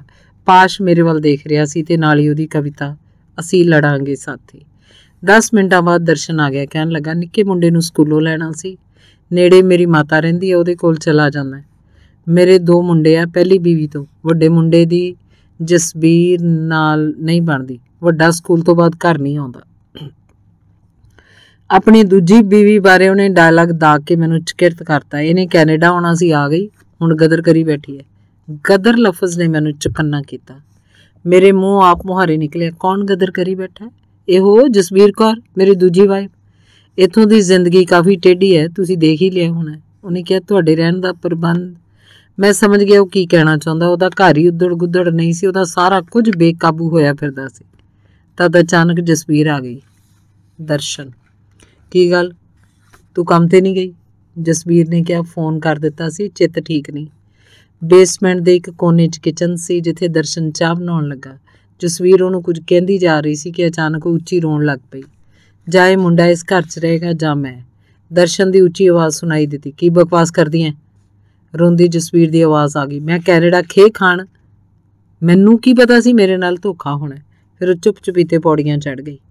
ਮੈਂ ਕਿਸੇ ਹੋਰ ਪਾਸੇ ਧਿਆਨ ਲਗਾਉਣ ਦੀ ਕੋਸ਼ਿਸ਼ ਕੀਤੀ। ਕੋ ਲਿਵਿੰਗ ਰੂਮ। ਲੰਮਾ ਚੌੜਾ ਉੱਥੇ ਮੀਆਂ ਬੀਵੀ ਦਾ ਤਕਰਾਰ। ਦਰਸ਼ਨ ਨੇ ਕਿਹਾ, ਚਲੋ ਕਿਤੇ ਚੱਲਦੇ ਆਂ ਖਾਣ ਪੀਣ ਉਹਨੇ ਕਿਹਾ, ਮੈਂ ਸੌਰੀ ਆ ਤੁਹਾਡੇ ਰਹਿਣ ਦਾ ਪ੍ਰਬੰਧ ਮੈਂ ਕਿਤੇ ਹੋਰ ਕੀਤਾ ਤਾਂ ਮੈਂ ਦਰਸ਼ਨ ਨੂੰ ਕਿਹਾ, ਉਹ ਮੈਨੂੰ ਲਿਲੀ ਦੇ ਘਰ ਛੱਡ ਆਏ। ਮੈਂ ਉਹਨੂੰ ਕੈਬ 'ਚ, ਮੈਂ ਉਹਦੀ ਕੈਬ 'ਚ ਬੈਠ ਗਿਆ, ਉਹ ਚੁੱਪ ਉਹਦੀਆਂ ਅੱਖਾਂ 'ਚ ਨਮੀ, ਚੁੱਪ ਤੋੜਨ ਲਈ ਮੈਂ ਕਿਹਾ, ਸੋ ਤੇਰੀ ਜ਼ਿੰਦਗੀ ਦੀ ਲੜਾਈ ਜਾਰੀ ਹੈ, ਕੈਨੇਡਾ 'ਚ ਵੀ? ਉਹ ਤੁਸੀਂ ਕੈਨੇਡਾ ਨੂੰ ਕੀ ਸਮਝਦੇ ਹੋ? ਰਾਹ 'ਚ ਦਰਸ਼ਨ ਨੇ ਕਾਰ ਰੋਕੀ, ਕੁਝ ਖਾ ਲਈਏ? ਕਿਹਾ, ਤੇ ਅਸੀਂ ਇੱਕ ਸ਼ਾਪਿੰਗ ਮਾਲ ਅੰਦਰ ਚਲੇ ਗਏ, ਇੱਕ ਢਾਬੇ ਅੱਗੇ ਬੈਠ ਗਏ। ਦਰਸ਼ਨ ਤੁਸੀਂ ਕਿਸਮਤ ਤੇ ਵਿਸ਼ਵਾਸ ਰੱਖਦੇ ਹੋ? ਮੈਂ ਚੁੱਪ ਰਿਹਾ। ਬਿਨਾਂ ਕਿਸਮਤ ਦੇ ਬੰਦੇ ਨੂੰ ਤੀਵੀਂ ਦਾ ਸੁੱਖ ਨਹੀਂ ਮਿਲ ਸਕਦਾ। ਉਹ ਫਿਰ ਬੋਲਿਆ, ਇੱਥੇ ਆ ਕੇ ਆਪਣੇ ਲੋਕ ਘਰ ਬਣਾ ਹੀ ਨਹੀਂ ਸਕੇ। ਇਹਨਾਂ ਮੁਲਕਾਂ 'ਚ ਘਰ ਬਣ ਨਹੀਂ ਸਕਦਾ। ਗੱਲਾਂ ਕਰਦੇ ਆਂ ਅਸੀਂ, ਖਾਂਦੇ ਗਏ। ਮੈਂ ਦਰਸ਼ਨ ਦੀਆਂ ਗੱਲਾਂ ਸੁਣਨ ਲੱਗਾ। ਮੇਰੇ ਲਈ ਉਹਦੇ ਲਫ਼ਜ਼ ਮੋਤੀਆਂ ਵਰਗੇ ਸਨ। ਮੈਂ ਆਪਣੀਆਂ ਲਟੋਰੀਆਂ ਵਾਲੇ ਰੂਪ 'ਚ ਮੱਗ ਉੱਠਿਆ। ਦਰਸ਼ਨ ਭਰਿਆ ਪਿਆ ਸੀ। ਕਹਿਣ ਲੱਗਾ, ਜਸਵੀਰ ਨਾਲ ਮੈਂ ਇੱਕ ਮਾਨਿਆਂ 'ਚ ਜ਼ਿਆਦਤੀ ਕੀਤੀ। ਮੈਂ ਕਿਹਾ ਸੀ, ਮੇਰੇ ਦੋ ਮੁੰਡੇ ਨੇ ਪਹਿਲੀ ਤੋਂ ਇਹ ਮੁੰਡੇ ਮੇਰੇ ਨਾਲ ਨਹੀਂ ਰਹਿੰਦੇ, ਦਾਦੀ ਕੋਲ ਰਹਿੰਦੇ ਨੇ। ਤੇ ਇੱਧਰ ਮੇਰਾ ਵੱਡਾ ਮੁੰਡਾ ਰੂਪਕ ਪਹਿਲੇ ਦਿਨ ਤੋਂ ਹੀ ਜਸਵੀਰ ਦੇ ਗਲ ਪੈ ਗਿਆ। ਹੁਣ ਫੱਕ ਆਫ ਬਿਚ ਤੋਂ ਬਗੈਰ ਗੱਲ ਨਹੀਂ ਕਰਦਾ। ਅੱਜ ਸਵੇਰੇ ਜਸਵੀਰ ਨੂੰ ਥੱਪੜ ਮਾਰ ਕੇ ਦੌੜ ਗਿਆ। ਅਚਾਨਕ ਉਹਨੇ ਇੱਕ ਐਸਾ ਡਾਇਲੌਗ ਦਾਗ ਦਿੱਤਾ ਕਿ ਮੈਂ ਚੁੱਪ ਦਾ ਚੁੱਪ ਰਹਿ ਗਿਆ। ਇਸ ਮੁੰਡੇ ਦੀ ਮਾਂ ਵੀ ਇਹੋ ਜਿਹੀ ਸੀ। ਦਰਸ਼ਨ ਤਫਸੀਲਾਂ ਖੋਲਣ ਲਈ ਤਿਆਰ ਬੈਠਾ ਸੀ, ਪਰ ਅਸੀਂ ਤਾਂ ਲਿੱਲੀ ਦੇ ਘਰ ਪੁੱਜਣਾ ਸੀ। ਉਹਨੇ ਕੈਬ ਦੇ ਕੰਮ ਤੇ ਲੱਗਣਾ ਸੀ। ਰਾਜ ਕਹਿਣ ਲੱਗਾ, ਮੈਂ ਭਰਿਆ ਪਿਆ। ਇੱਥੇ ਕੋਈ ਦੂਜੇ ਦਾ ਦੁੱਖ ਸੁਣਨ ਲਈ ਤਿਆਰ ਨਹੀਂ। ਮੈਂ ਬਹੁਤ ਇੱਕ ਡਾਇਲੌਗ ਉਡਾਇਆ। ਇਹ ਰੂਹਾਨੀ ਇਕੱਲਤਾ ਹੈ। ਦਰਸ਼ਨ ਨੇ ਮੇਰਾ ਡਾਇਲੌਗ ਜਿਵੇਂ ਸੁਣਿਆ ਨਹੀਂ, ਉਹ ਆਪਣੇ ਹੀ ਕੁਝ ਦੱਸੀ ਜਾ ਰਿਹਾ ਸੀ। ਰੂਹਾਨੀ ਇਕੱਲਤਾ ਵਾਲਾ ਜੁਮਲਾ ਮੈਂ ਕਰਮਜੀਤ ਨਲਵਾ ਦੇ ਡਾਇਲਾਗਾਂ ਦੇ ਹਵਾਲੇ ਤੋਂ ਤਿਆਰ ਕੀਤਾ ਸੀ। ਐਵੇਂ ਪ੍ਰਭਾਵ ਪਾਉਣ ਲਈ ਅਚਾਨਕ ਮੇਰੀ ਸੋਚ ਫਿਰਕੀ ਤੇ ਨਲਵੇ ਨੇ ਧਾਵਾ ਬੋਲ ਦਿੱਤਾ। ਜਦ ਉਹਨੇ ਕਿਹਾ, ਸਿਸਟਮ ਹੀ ਦਹਿਸ਼ਤ ਵਾਲਾ ਤਾਂ ਮੈਂ ਉਹਨੂੰ ਹੋਰ ਉਧੜਨ ਲਈ ਕਿਹਾ ਸੀ, ਅਮਰੀਕਾ 'ਚ ਦਹਿਸ਼ਤ, ਫਿਰ ਛੁਰੀ? ਨਲਵਾ, ਸੁਣੋ ਮੇਰੀ ਦਲੀਲ। ਬਰਨਾਰਡ ਸ਼ਾ ਕਹਿੰਦਾ ਹੈ, ਗਰੀਬ ਹੋਣਾ ਸਭ ਤੋਂ ਵੱਡਾ ਜੁਰਮ ਹੈ। ਇੰਡੀਆ 'ਚ ਗਰੀਬੀ ਦੀ ਦਹਿਸ਼ਤ ਹੈ। ਉੱਥੇ ਤਾਂ ਧਰਮ ਹੀ ਦਹਿਸ਼ਤ ਬਣਿਆ ਪਿਆ ਮੈਂ ਗੱਲ ਨੂੰ ਸਮਝਣ ਲਈ ਚੁੱਪ ਰਿਹਾ, ਉਹ ਅਮਰੀਕਾ 'ਚ ਆਰਥਿਕ ਗਤੀ ਦੀ ਦਹਿਸ਼ਤ ਹੈ। ਜਿਹੜਾ ਇਸ ਗਤੀ ਮੁਤਾਬਕ ਨਹੀਂ ਚੱਲਦਾ, ਉਹਦੀ ਹیثیت ਜ਼ੀਰੋ ਹੈ। ਮੈਂ ਪਹਿਲਾਂ ਤਾਂ ਨਲਵੇ ਨਾਲ ਸਹਿਮਤ ਹੋ ਗਿਆ। ਫਿਰ ਐਵੇਂ ਉਹਨੂੰ ਪ੍ਰਵੋਕ ਕਰਨ ਲਈ ਕਿਹਾ ਇਹ ਜਿਹੜੀ ਇਕੱਲਤਾ ਦੀ ਤੂੰ ਗੱਲ ਕੀਤੀ ਹੈ, ਇੱਥੇ ਸ਼ਾਮ ਨੂੰ ਬਲੈਕ ਲੇਬਲ ਦਾ ਡਾਟ ਖੋਲਦੇ ਇਕੱਲਤਾ ਭੁੱਲ ਜਾਂਦੀ ਹੈ। ਇਹ ਕੀ ਗੱਲ ਹੋਈ ਭਲਾ, ਮੈਂ ਕਿਹਾ। ਨਲਵੇ ਨਾਲ ਹੋਏ ਡਾਇਲੌਗ ਉਛਲਨੇ ਬੰਦ ਹੋਏ ਜਦ ਦਰਸ਼ਨ ਨੇ ਕਿਹਾ, ਆ ਗਿਆ ਜੀ ਤੁਹਾਡੀ ਮੈਡਮ ਲਿਲੀ ਗਰੇਵਾਲ ਦਾ ਘਰ। ਦਰਸ਼ਨ ਚਲਾ ਗਿਆ, ਮੈਂ ਲਿਲੀ ਗਰੇਵਾਲ ਦੇ ਦਰਵਾਜ਼ੇ ਦੇ ਬਾਹਰ ਘੰਟੀ ਕਰਦੇ ਅਜੀਬ ਮਹਿਸੂਸ ਕਰ ਰਿਹਾ ਸੀ। ਨਲਵੇ ਨੇ ਅਜਿਹੀ ਸਥਿਤੀ ਬਾਰੇ ਡਿਸਓਰੀਐਂਟੇਸ਼ਨ ਲਫ਼ਜ਼ ਵਰਤਿਆ ਸੀ। ਲਿਲੀ ਨੇ ਦਰਵਾਜ਼ਾ ਖੋਲਦਿਆਂ ਡਾਇਲੌਗ ਬੋਲਿਆ ਹੈਲੋ ਪ੍ਰੋਫੈਸਰ ਹਾਊ ਨਾਈਸ ਮੈਂ ਬੈਗ ਰੱਖਿਆ ਤੇ ਸੋਫੇ ਤੇ ਬੈਠ ਗਿਆ। ਉਹ ਬੋਲੀ, ਚੰਗਾ ਹੋਇਆ, ਤੁਸੀਂ ਆ ਗਏ। ਤੁਹਾਨੂੰ ਪਤਾ ਹੀ ਆ, ਮੈਨੂੰ ਇੰਟੈਲੈਕਚੁਅਲ ਬੰਦਿਆਂ ਦੀ ਸੰਗਤ ਚੰਗੀ ਲੱਗਦੀ ਹੈ। ਮੈਂ ਚਾਹੁੰਦਾ ਸੀ ਕਹਾਂ ਕਿ ਮੈਨੂੰ ਇੰਟੈਲੈਕਚੁਅਲ ਸ਼ਬਦ ਤੋਂ ਚਿੜ ਹੈ ਪਰ ਚੁੱਪ ਰਿਹਾ। ਅਗਲਾ ਅੰਗ ਹੈ, ਕੈਲਗਰੀ ਦੀ ਲਿਲੀ। ਲਿਲੀ ਗਰੇਵਾਲ, ਸੁਣਿਆ ਤੁਸੀਂ ਬੁੱਕਸ ਲਿਖਦੇ ਹੋ? ਕਿਹੋ ਜੀਆਂ ਬੁੱਕਸ ਲਿਖਦੇ ਹੋ ਤੁਸੀਂ? ਕੀ ਜਵਾਬ ਹੋ ਸਕਦਾ ਸੀ ਇਸ ਸਵਾਲ ਦਾ? ਗੱਲ ਨੂੰ ਬੌਧਿਕ ਪੂੰਝ ਨਾਲ ਸਮੇਟਣ ਦੀ ਲੱਤ ਗਾਇਬ ਹੋ ਚੁੱਕੀ ਸੀ।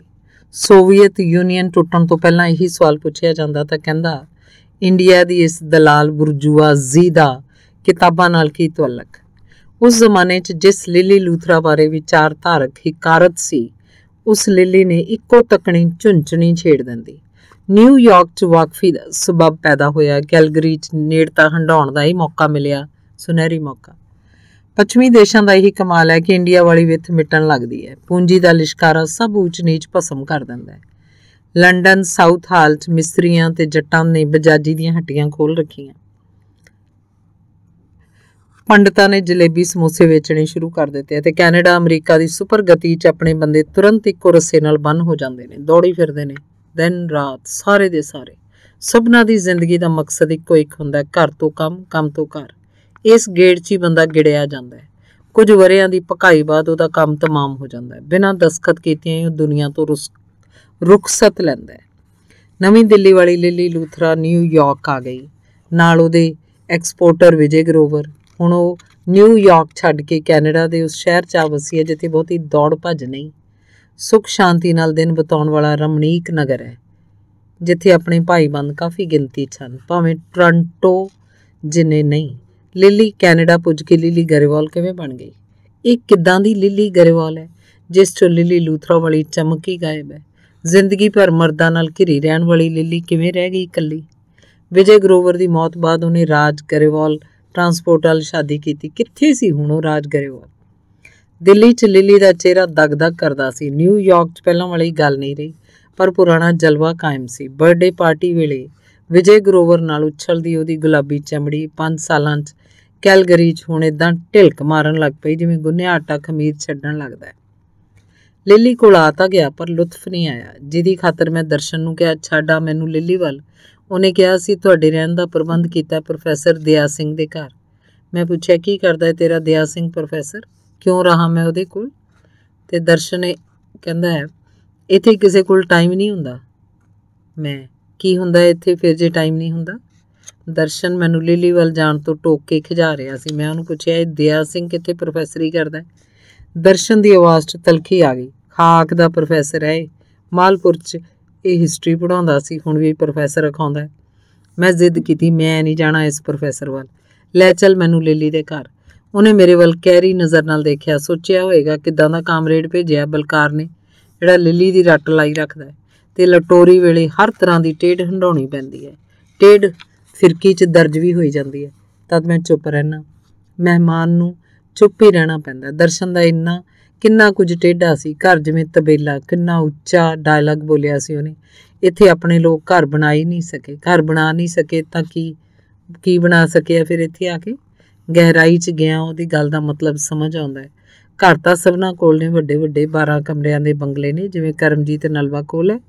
ਗਾਇਬ ਹਨ ਘਰਾਂ ਨੂੰ, ਕਾਇਮ ਰੱਖਣ ਵਾਲੀਆਂ ਆਵਾਜ਼ਾਂ। ਘਰ ਤਾਂ ਰਹਿਣ ਵਾਲਿਆਂ ਦੀਆਂ ਆਵਾਜ਼ਾਂ ਨਾਲ ਬਣਦਾ ਹੈ। ਦਰਸ਼ਨ ਨੇ ਘਰ ਖਰੀਦ ਕੇ ਕਿਰਾਏ ਤੇ ਦੇ ਦਿੱਤਾ ਹੈ ਕਿ ਮੋਰਗੇਜ ਦੀਆਂ ਕਿਸ਼ਤਾਂ ਬੋਝ ਨਾ ਬਣਨ। ਆਰੰਭ ਹੀ ਗਲਤ ਹੋ ਗਿਆ। ਆਪ ਰਹਿਣ ਲੱਗ ਪਿਆ ਬੇਸਮੈਂਟ 'ਚ। ਰਾਤ ਨੂੰ ਬੀਵੀ ਸਮੇਤ ਸੌਂਦਾ ਹੋਏਗਾ ਕਿ ਸਵੇਰ ਹੁੰਦਿਆਂ ਕੰਮ ਤੇ ਲੱਗਣਾ ਅਜੀਬ ਗੱਲ ਇਹ ਹੈ ਕਿ ਲਿਲੀ ਦੇ ਸਾਹਮਣੇ ਬੈਠੇ ਵੀ ਦਰਸ਼ਨ ਮੇਰੀ ਫਿਰਕੀ ਨੂੰ ਘੇਰੀ ਬੈਠਾ ਸੀ। ਮੈਂ ਫਿਰਕੀ ਨੂੰ ਦਰੁਸਤ ਕੀਤਾ, ਲਿਲੀ ਵਾਲੇ ਪਾਸੇ ਦੀ ਤਵੱਜੋ ਮੋੜੀ। ਇੱਥੇ ਲਿਲੀ ਕੀ ਕਰਦੀ ਹੈ? ਕਿਵੇਂ ਰਹਿੰਦੀ ਹੈ? ਕੁੰਡੀਆਂ 'ਚ ਘਿਰ ਗਿਆ। ਕਿਹੋ ਜੀਆਂ ਗੱਲਾਂ ਕਰਨੀਆਂ ਚਾਹੀਦੀਆਂ ਇਸ ਨਾਲ? ਕਿੰਨਾ ਕੁਝ ਪੁੱਛਣਾ ਚਾਹੁੰਦਾ ਸੀ। ਕਿੰਜ ਪੁੱਛਦਾ? ਦੀਨਾਲ ਨਾਥ ਲੂਥਰਾ, ਵਿਜੇ ਗਰੋਵਰ, ਰਾਜ ਗਰੇਵਾਲ, ਹੋਰ ਵੀ ਹੋਣਗੇ ਕਈ। ਹੁਣ ਮੈਂ ਬੈਠਾ ਸੀ ਕੁਝ ਪਲਾਂ ਤੇ, ਉਹਦੇ ਸਾਹਮਣੇ ਤੇ ਉਹ ਪੁੱਛ ਰਹੀ ਸੀ, ਕਿਹੋ ਜੀਆਂ ਕਿਤਾਬਾਂ ਲਿਖ ਦਿਓ ਕੀ ਕਹਿੰਦਾ? ਅਚਾਨਕ ਲਿਲੀ ਦੀ ਆਵਾਜ਼ ਹੈ ਨਾਵਲ ਲਿਖ ਦਿਓ। ਮੈਂ ਲਿਲੀ ਤੋਂ ਪੁੱਛਣ ਲਈ ਤਿਆਰੀ ਕਰੀ ਬੈਠਾ ਸੀ, ਮੈਡਮ, ਰਾਜ ਗਰੇਵਾਲ ਨਾਲ ਤੁਹਾਡੀ ਸ਼ਾਦੀ ਜਾਰੀ ਹੈ ਜਾਂ ਟੁੱਟ ਗਈ? ਨਿੱਜੀ ਸਵਾਲ ਸੀ, ਕਿਵੇਂ ਪੁੱਛਦਾ? ਅਗਲਾ ਪੁੱਛਣ ਵਾਲਾ ਸਵਾਲ ਸੀ, ਤੁਸੀਂ ਟ੍ਰਾਂਟੋ ਛੱਡ ਕੇ ਕੈਲਗਰੀ ਕਿਉਂ ਆ ਗਏ? ਨਾ ਪੁੱਛਿਆ, ਕਿਹਾ, ਕੈਲਗਰੀ ਖੂਬਸੂਰਤ ਸ਼ਹਿਰ ਹੈ। ਉਹਨੇ ਜਿਵੇਂ ਸੁਣਿਆ ਨਹੀਂ, ਰਾਬਤਾ ਨਾ ਹੋਵੇ ਤਾਂ ਬੰਦਾ ਇੱਕ ਦੂਜੇ ਦੀ ਗੱਲ ਨਹੀਂ ਸੁਣਦਾ। ਆਪ ਹੀ ਬੋਲਦਾ ਉਹਦੀ ਆਵਾਜ਼ ਕਿਹੋ ਜਿਹੇ ਨਾਵਲ ਲਿਖਦੇ ਹੋ romantic? I love romantic novels ਮੈਂ ਨੋਵਲ ਨਹੀਂ ਲਿਖਦਾ। ਫਿਰ ਕੀ ਲਿਖਦੇ ਹੋ?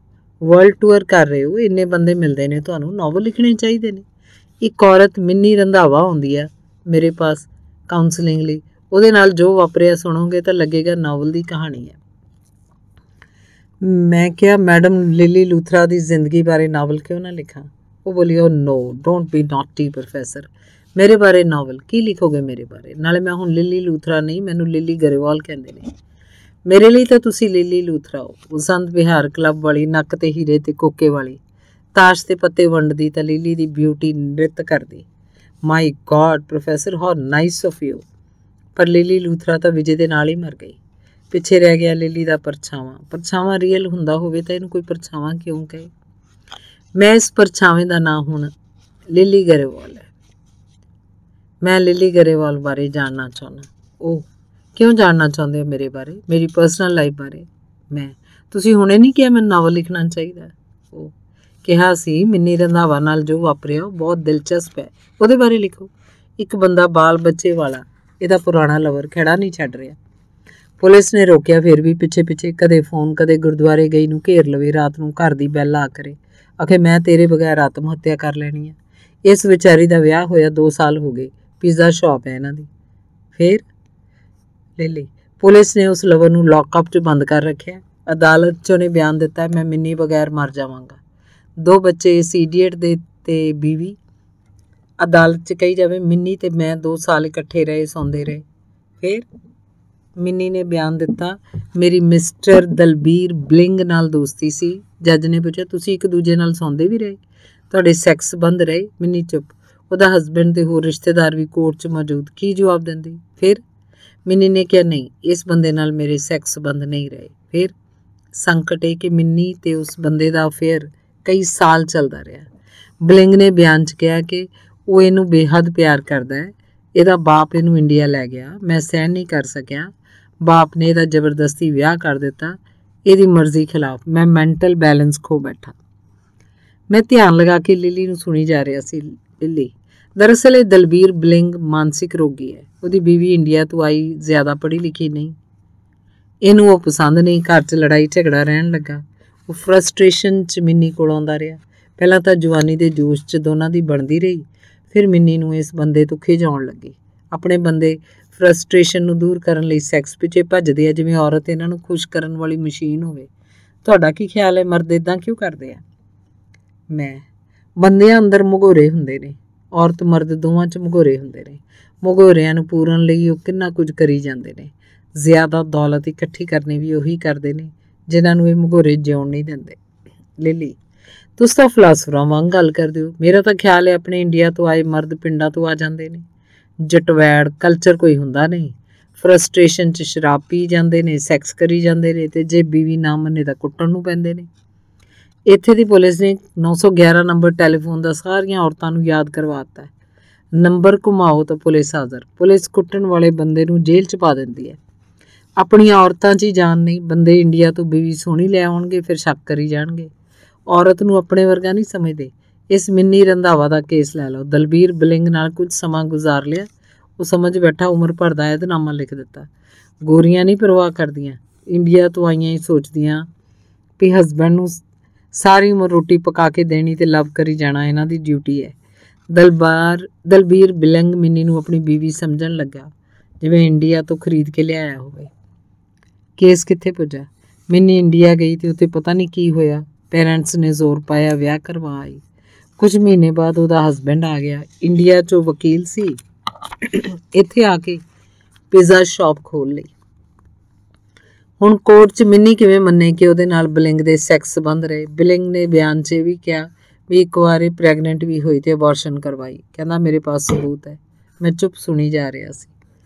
ਲਿਲੀ, ਰਿਸ਼ਤੇ ਕਿਵੇਂ ਕਾਇਮ ਰਹਿ ਸਕਦੇ ਨੇ? ਥੀਸ men ਆਰ ਸਿਕ ਔਰਤ ਨੂੰ ਮੱਛੀ ਸਮਝਦੇ ਨੇ। ਫਰਾਈ ਕੀਤੀ, ਖਾ ਲਈ। ਮੈਂ, ਮੱਛੀ ਫਰਾਈ ਕੀਤੀ ਤੇ ਖਾ ਲਈ। ਕੀ ਬਾਤ ਹੈ। ਹੁਣੇ ਤੁਸੀਂ ਕਿਹਾ ਸੀ, ਮੈਂ ਤਾਂ ਲਿਲੀ ਲੂਥਰਾ ਦਾ ਪਰਛਾਵਾਂ। ਇਹ ਦੋਵੇਂ ਡਾਇਲੌਗ ਕਮਾਲ ਨੇ ਇੰਟੈਲੈਕਚੁਅਲ ਮੈਡਮ ਜੀ, ਤੁਸੀਂ ਹੋ।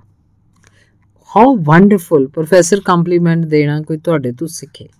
ਮਿੰਨੀ ਰੰਧਾਵਾ ਤੇ ਦਲਬੀਰ ਬਲਿੰਗ ਵਾਲੇ ਚੱਕਰ ਨੇ ਮੇਰੀ ਸੋਚ ਫਿਰਕੀ ਤੇ ਹੋਰ ਬੁਝਾ, ਬੋਝ ਪਾ ਦਿੱਤਾ। ਦਰਸ਼ਨ ਦੀਆਂ ਗੱਲਾਂ ਪਹਿਲਾਂ ਹੀ ਜਮਾ ਹੋਈਆਂ ਸੀ। ਮਿੰਨੀ ਦਾ ਇੰਡੀਆ ਤੋਂ ਆਇਆ, ਖਵੰਦ ਕਿਵੇਂ ਲੈਂਦਾ ਹੋਏਗਾ ਬਲਿੰਗ ਦੇ ਖੜਾ ਕੀਤੇ ਖੜੇ ਕੀਤੇ ਇਸ ਪੰਗੇ ਨੂੰ। ਲਿਲੀ ਬੋਲੀ ਉਹ ਵਕੀਲ ਪ੍ਰੈਕਟੀਕਲ ਬੰਦਾ ਹੈ, ਉਹਨੂੰ ਵਿਆਹ ਵੇਲੇ ਸਭ ਕੁਝ ਪਤਾ ਲੱਗ ਚੁੱਕਾ ਸੀ। ਉਹਦਾ ਕਜ਼ਨ ਰਹਿੰਦਾ ਇੱਥੇ, ਉਹਨੇ ਫੋਨ ਤੇ ਸਭ ਦੱਸ ਦਿੱਤਾ ਹੋਣਾ। ਫਿਰ ਵੀ ਉਹਨੇ ਵਿਆਹ ਕਰਵਾ ਲਿਆ। ਇੱਥੇ ਆ ਕੇ ਉਹਨੇ ਮਿੰਨੀ ਨੂੰ ਕਿਹਾ, ਜੋ ਹੋਇਆ ਗੱਲ ਖਤਮ ਹੋਈ। ਨਵੀਂ ਜ਼ਿੰਦਗੀ ਸ਼ੁਰੂ ਕਰਨੀ ਹੈ। ਜ਼ਿੰਦਗੀ ਸ਼ੁਰੂ ਹੋ ਗਈ, ਪਰ ਇਹ ਪਾਗਲ ਬਲਿੰਗ ਜੇਲ੍ਹ 'ਚ ਤਾਂ ਬੰਦ ਕਰਤਾ। ਪੁਲਿਸ ਨੇ, ਪਰ ਇਸ ਕੁੜੀ ਦਾ ਇੰਡੀਆ ਵਾਲਾ ਵਕੀਲ ਹੁਣ ਔਖਾ ਹੈ, ਕੌੜਾ ਬੋਲਦਾ ਹੈ।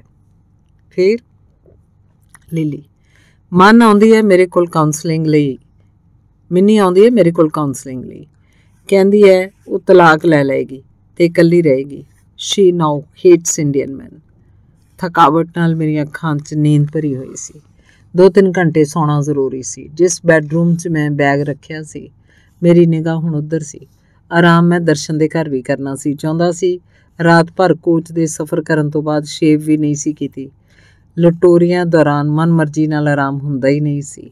ਕਹਿਣਾ ਮੈਂ ਸੀ, ਮੈਂ ਘੰਟਾ ਕੁ ਆਰਾਮ ਕਰਨਾ ਚਾਹਨਾ ਪਰ ਮੂੰਹੋਂ ਨਿਕਲਿਆ, ਮੈਡਮ, ਤੁਸੀਂ ਲਿਲੀ ਲੂਥਰਾ ਤੋਂ ਲਿਲੀ ਗਰੇਵਾਲ ਕਦ ਬਣੇ? ਉਹਦਾ ਜਵਾਬ ਸੁਣੇ ਬਗੈਰ ਮੈਂ ਕਿਹਾ, ਇਹ ਨਾਂ ਬੜਾ ਕੈਚੀ ਹੈ। ਮੈਨੂੰ ਇਹ ਨਾਂ ਸੁਣ ਕੇ ਬੰਬਈ ਫਿਲਮਾਂ ਵਾਲੀ ਸਿਮੀ ਗਰੇਵਾਲ ਯਾਦ ਆਉਣ ਲੱਗਦੀ ਹੈ। ਉਹ ਬੋਲੀ, hi, Simi she is my darling ਸੱਚ ਏ ਲਵਲੀ ਵਮਨ ਫਿਰ ਕਿਹਾ, ਪ੍ਰੋਫੈਸਰ, ਤਾਰੀਫ ਲਈ ਸ਼ੁਕਰੀਆ। ਅਜੀਬ ਗੱਲ ਹੈ, ਮੈਂ ਕਿਹੜੀ ਉਹਦੀ ਤਾਰੀਫ ਕੀਤੀ? ਸਿਮੀ ਗਰੇਵਾਲ ਦਾ ਨਾਂ ਤਾਂ ਮੈਂ ਟਕੋਰ ਨਾਲ ਲਿਆ ਸੀ, ਸਥਿਤੀ ਜਾਲੀ ਹੋ ਰਹੀ ਸੀ। ਤੇ ਮੈਂ ਕਿਹਾ, ਤੁਸੀਂ ਤਾਰੀਫ ਦੇ ਕਾਬਲ ਹੀ ਬਹੁਤ ਹੋ। ਉਹ ਕਹਿਣ ਲੱਗੀ ਸੋ ਸਵੀਟ ਪ੍ਰੋਫੈਸਰ ਤੁਸੀਂ ਕਿੱਥੇ ਛਿਪੇ ਰਹੇ? ਇੰਨੇ ਵੰਡਰਫੁਲ ਮੈਨ ਹੋ ਤੁਸੀਂ। ਇਸ ਡਾਇਲੌਗ ਨੇ ਮੇਰੇ ਅੰਦਰ ਅਜੀਬ ਉਛਾਲ ਲਿਆਂਦਾ, ਲੁਤਫ ਆਉਣ ਲੱਗਾ। ਚਾਹ ਦੇ ਦੋ ਮੱਗ ਤੇ ਕੇਕ ਉਹਨੇ ਡਾਈਨਿੰਗ ਟੇਬਲ ਤੇ ਰੱਖੇ ਤੇ ਮੈਨੂੰ ਆਉਣ ਲਈ ਕਿਹਾ। ਉਸ ਕਿਹਾ, ਮੈਂ ਡੇਢ ਸਾਲ ਰਾਜ ਕੋਲ ਰਹੀ, ਚੰਗਾ ਸਮਾਂ ਗੁਜ਼ਾਰਿਆ। ਉਹਦੇ ਨਾਲ ਕਿ ਅਚਾਨਕ ਪਾਲ ਆ ਗਿਆ। ਮੇਰੀ ਜ਼ਿੰਦਗੀ 'ਚ ਜਿਵੇਂ ਜਨਮਾਂ ਦਾ ਰਿਸ਼ਤਾ ਹੋਵੇ। ਪਾਲ, ਲੈ ਲਈ। ਰਾਜ ਗਰੇਵਾਲ ਦਾ ਛੋਟਾ ਭਰਾ ਪਾਲ ਗਰੇਵਾਲ। ਇੰਟੈਲੈਕਚੁਅਲ ਹੈ ਤੁਹਾਡੇ ਵਾਂਗ, ਸ਼ਿਕਾਗੋ 'ਚ ਨਿਊਕਲੀਅਰ ਫਿਜ਼ਿਕਸ ਦਾ ਪ੍ਰੋਫੈਸਰ। ਰਾਜ ਮਹੀਨਾ ਭਰ ਆਪਣੇ ਬਿਜ਼ਨਸ ਦੇ ਚੱਕਰ 'ਚ। ਨਿਊਯਾਰਕ ਗਿਆ, ਮੈਨੂੰ ਡਿਪਰੈਸ਼ਨ ਹੋ ਗਿਆ, ਤਦ ਪਾਲ ਆ ਗਿਆ। ਅਚਾਨਕ ਸ਼ਿਕਾਗੋ ਤੋਂ। ਮੇਰੀ ਉਤਸੁਕਤਾ ਵੇਖ ਕੇ ਉਹ ਕਹਿਣ ਲੱਗੀ, ਸ਼ਾਮ ਨੂੰ ਜਦ ਮੈਂ ਉਹਨੂੰ ਡਰਿੰਕ ਆਫਰ ਕੀਤੀ ਤਾਂ ਪਾਲ ਨੇ ਗਾਹ ਹੋ ਕੇ ਮੈਨੂੰ ਚੁੰਮ ਲਿਆ। ਮੈਂ ਉੱਥੇ ਬਸ ਹੋ ਗਈ। ਪ੍ਰੋਫੈਸਰ, ਤੁਹਾਨੂੰ ਨਹੀਂ ਪਤਾ ਇੱਥੇ ਔਰਤ ਕਿੰਨੀ ਇਮੈਂਸੀਪੇਟਿਡ ਹੈ। ਆਪਣੇ ਮਰਦੀ ਕਿਸੇ ਪੁਰਾਣੀ ਸਦੀ 'ਚ ਥੱਲਾ ਮਾਰੀ ਬੈਠੇ ਨੇ। ਪਾਲ ਪਾਲ ਦਾ ਕੋਈ ਜਵਾਬ ਨਹੀਂ। ਉਹ ਨਿਊਯਾਰਕ ਦੀ ਕੋਲੰਬੀਆ ਯੂਨੀਵਰਸਿਟੀ 'ਚ ਰਿਸਰਚ ਕਰ ਰਿਹਾ ਸੀ ਜਦ ਦੀਪਾ ਨੇ ਉੱਥੇ ਜਰਨਲਿਜ਼ਮ ਕੀਤਾ। ਮੈਂ ਕਹਿਣਾ ਸੀ, ਮੈਡਮ, ਕੁਝ ਦੇਰ ਆਰਾਮ ਕਰ ਲਵਾਂ। ਪਰ ਪਾਲ ਵਾਲੀ ਇੱਕ ਹੋਰ ਕੁੰਡੀ ਜਮਾ ਹੋ ਗਈ। ਮੈਂ ਕਿਹਾ, ਮਿੰਨੀ ਰੰਧਾਵਾ ਨੂੰ ਮੈਂ ਮਿਲਣਾ ਚਾਹੁੰਦਾ। ਉਹ ਕਹਿੰਦਾ, ਫਿਰ ਤੁਸੀਂ ਕਹੋਗੇ ਮੈਂ ਪਾਲ ਨੂੰ ਮਿਲਣਾ ਚਾਹੁੰਦਾ, ਇਹ ਕਹਿ ਕੇ ਉਹ ਹੱਸ ਪਈ। ਮੈਂ ਚੁੱਪ ਹੋ ਗਿਆ, ਕੀ ਕਹਿੰਦਾ ਉਹ ਬੋਲੀ, ਆਪਣੇ ਇੰਡੀਅਨਾਂ ਨਾਲ ਦੂਜੇ ਦੀ ਪਰਸਨਲ ਲਾਈਫ ਬਾਰੇ ਜਾਣਨ ਦੀ ਬੜੀ ਆਦਤ ਹੈ। ਮੈਂ ਕਿਹਾ, ਤੁਸੀਂ ਤਾਂ ਕਿਹਾ, ਮੈਨੂੰ ਇਸ ਲੇਡੀ ਬਾਰੇ ਨੋਵਲ ਲਿਖਣਾ ਚਾਹੀਦਾ ਨਾਲੇ ਉਹਨੇ ਤੁਹਾਡੇ ਪਾਸ ਆਉਣਾ ਹੈ ਕਾਉਂਸਲਿੰਗ ਲਈ। ਤੁਸੀਂ ਕੇਕ ਤਾਂ ਖਾਦਾ ਨਹੀਂ ਚੀਜ਼ ਸੈਂਡਵਿਚ ਬਣਾ ਦਿੰਨੀ ਆ। ਉਹ ਡਾਈਨਿੰਗ ਰੂਮ ਦੇ ਨਾਲ ਹੀ ਬਣੇ ਕਿਚਨ ਵਾਲੇ ਪਾਸੇ ਚਲੀ ਗਈ। ਮੈਂ ਸੋਫੇ ਤੋਂ ਉੱਠ ਕੇ ਉਹਦੇ ਨਜ਼ਦੀਕ ਆ ਗਿਆ, ਬਹੁਤ ਨਜ਼ਦੀਕ। ਮੈਂ ਕਿਹਾ, ਤੁਸੀਂ ਪਾਲ ਗਰੇਵਾਲ ਬਾਰੇ ਸੋਚ ਰਹੇ ਸੀ? ਕੀ ਦੱਸ ਰਹੀ ਸੀ ਮੈਂ?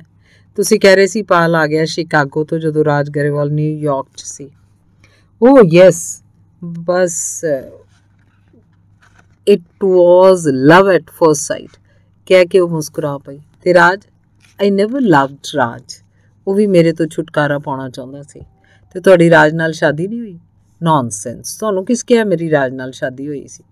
ਦੀਨੂ ਨਾਲ ਸ਼ਾਦੀ ਟੁੱਟਣ ਤੋਂ ਬਾਅਦ ਮੈਂ ਫੈਸਲਾ ਕਰ ਚੁੱਕੀ ਸੀ, ਸ਼ਾਦੀ ਨਹੀਂ ਕਰਾਉਣੀ। ਵਿਜੇ ਨਾਲ ਮੇਰਾ ਦਿਨੋਂ ਦਿਲੋਂ ਜਾਨ ਦਾ ਰਿਸ਼ਤਾ ਸੀ। ਉਹ ਮੇਰੇ ਤੇ ਜਾਨ ਦਿੰਦਾ ਸੀ। ਕਾਰ ਕ੍ਰੈਸ਼ ਤੋਂ ਬਾਅਦ ਮੈਨੂੰ ਡਿਪਰੈਸ਼ਨ ਹੋ ਗਿਆ। ਰਾਜ ਨੂੰ ਔਰਤਾਂ ਦੇ ਜਿਸਮ ਦੀ ਭੁੱਖ ਹੈ। ਉਹਨੇ ਮੇਰੇ ਮੇਰੇ ਡਿਪਰੈਸ਼ਨ ਦਾ ਫਾਇਦਾ ਉਠਾਇਆ। ਮੈਂ ਉਹਦੇ ਨਾਲ ਟ੍ਰਾਂਟੋ ਆ ਗਈ। ਤੇ ਪਾਲ ਵੰਡਰਫੁਲ ਮੈਨ ਉਹ ਦੋ ਵੀਕਾਂ ਬਾਅਦ ਆਉਂਦਾ ਕੈਲਗਰੀ ਇਸ ਵੀਕ ਐਂਡ ਆ ਰਿਹਾ ਕੱਲ ਹੀ ਤਾਂ ਸਨੀਚਰਵਾਰ ਹੈ। ਕੀ ਪਤਾ ਆ ਜਾਏ, ਮਿਲ ਲੈਣਾ। ਉਹ ਬ੍ਰੈਡ ਤੇ ਚੀਜ਼ ਲਗਾਉਣ ਲੱਗੀ। ਮੈਂ ਡਾਈਨਿੰਗ ਟੇਬਲ ਤੇ ਆ ਬੈਠਾ। ਮੈਨੂੰ ਲੱਗਾ ਲੀਲੀ ਨਾਲ ਨੇੜਤਾ ਦੀ ਸੰਭਾਵਨਾ ਗੱਲਾਂ ਤੋਂ ਪਾਰ ਨਹੀਂ ਜਾ ਸਕਦੀ। ਚੀਜ਼ ਸੈਂਡਵਿਚ ਖਾ ਕੇ, ਚਾਹ ਪੀ ਕੇ, ਮੈਂ ਕਿਹਾ ਕੁਝ ਦੇਰ ਆਰਾਮ ਕਰਨਾ ਹੈ। ਇਸ ਤੋਂ ਪਹਿਲਾਂ ਕਿ ਉਹ ਕੁਝ ਕਹਿੰਦੀ ਟੈਲੀਫੋਨ ਦੀ ਘੰਟੀ ਵੱਜਣ ਲੱਗੀ। ਜਿਸ ਬੈੱਡਰੂਮ 'ਚ ਉਹਨੇ ਮੇਰਾ ਬੈਗ ਰਖਵਾਇਆ ਸੀ, ਉੱਥੋਂ ਸ਼ੇਵ ਦਾ ਸਮਾਨ ਕੱਢ ਕੇ ਮੈਂ ਬਾਥਰੂਮ ਚਲਾ ਗਿਆ। ਸ਼ੇਵ ਕਰਦਿਆਂ ਮੇਰੀ ਫਿਰਕੀ 'ਚ ਕਿੰਨਾ ਕੁਝ ਦਾਖਲ ਹੋਈ ਜਾ ਰਿਹਾ ਸੀ। ਉਲਟ ਪੁਲਟ ਵੀ ਤੇ ਸੰਜੀਦਾ ਗੱਲਾਂ ਵਈ ਲਿਲੀ ਦੀ ਡਿਪਰੈਸ਼ਨ ਬਾਰੇ ਤਿੰਨ ਡਾਇਲੌਗ ਬਾਰ-ਬਾਰ ਸੁਣਾਈ ਦੇਣ ਲੱਗੇ। ਰਾਜ ਨਿਊਯਾਰਕ ਗਿਆ ਹੋਇਆ ਸੀ। ਮੈਨੂੰ ਡਿਪਰੈਸ਼ਨ ਹੋ ਗਿਆ। ਭਾਂਜੇ ਦੀ ਬੀਵੀ ਡੋਲੀ ਦਾ ਇਹ ਡਾਇਲੌਗ ਵਿਜੇ ਗਰੋਵਰ ਅੰਕਲ ਦੀ ਡੈਥ ਤੋਂ ਬਾਅਦ ਲਿਲੀ ਆਂਟੀ ਨੂੰ ਡਿਪਰੈਸ਼ਨ ਹੋ ਗਿਆ। ਤੀਜਾ ਡਾਇਲੌਗ ਜੋ ਨੇ ਹੁਣੇ ਬੋਲਿਆ ਸੀ, ਰਾਜ ਨੇ ਮੇਰੀ ਡਿਪਰੈਸ਼ਨ ਦਾ ਫਾਇਦਾ ਉਠਾਇਆ। ਹੁਣ ਕੱਲ ਲਿਲੀ ਦੇ ਨਵੇਂ ਆਸ਼ਿਕ ਪਾਲ ਗਰੇਵਾਲ ਨੇ ਆਉਣਾ ਸੀ ਤੇ ਅੰਦਰੋਂ ਅੰਦਰ ਇਹ ਡਾਇਲੌਗ ਪੈਦਾ ਹੋਇਆ। ਇਦਾਂ ਦੀਆਂ ਔਰਤਾਂ ਨਾਲ ਆਪਣਾ ਕੀ ਨਾਤਾ? ਕੁਰੇਦਣ ਦੀ ਆਦਤ ਮੈਨੂੰ ਬਿਨਾਂ ਸਿਰਨਾਵੇਂ ਦੇ ਕਵਲਪ੍ਰੀਤ ਨੂੰ ਲੱਭਣ ਲਈ ਲਾਸ ਐਂਜਲਸ ਵਾਲੇ ਵਰਗੇ ਵੱਡੇ ਸ਼ਹਿਰ 'ਚ ਪਟਕਾਉਂਦੀ ਰਹੀ। ਹੋਇਆ ਇੰਜ ਕੇ ਸਨ ਫ੍ਰਾਂਸਿਸਕੋ 'ਚ ਪ੍ਰੋਫੈਸਰ ਸੁਖਮੇਲ ਰਹਿੰਦਾ, ਜੋ ਬਰਕਲੇ ਕੈਂਪਸ 'ਚ ਕੈਮਿਸਟਰੀ ਦਾ ਪ੍ਰੋਫੈਸਰ ਹੈ, ਉਹ ਮੈਨੂੰ ਘਰ ਲੈ ਗਿਆ।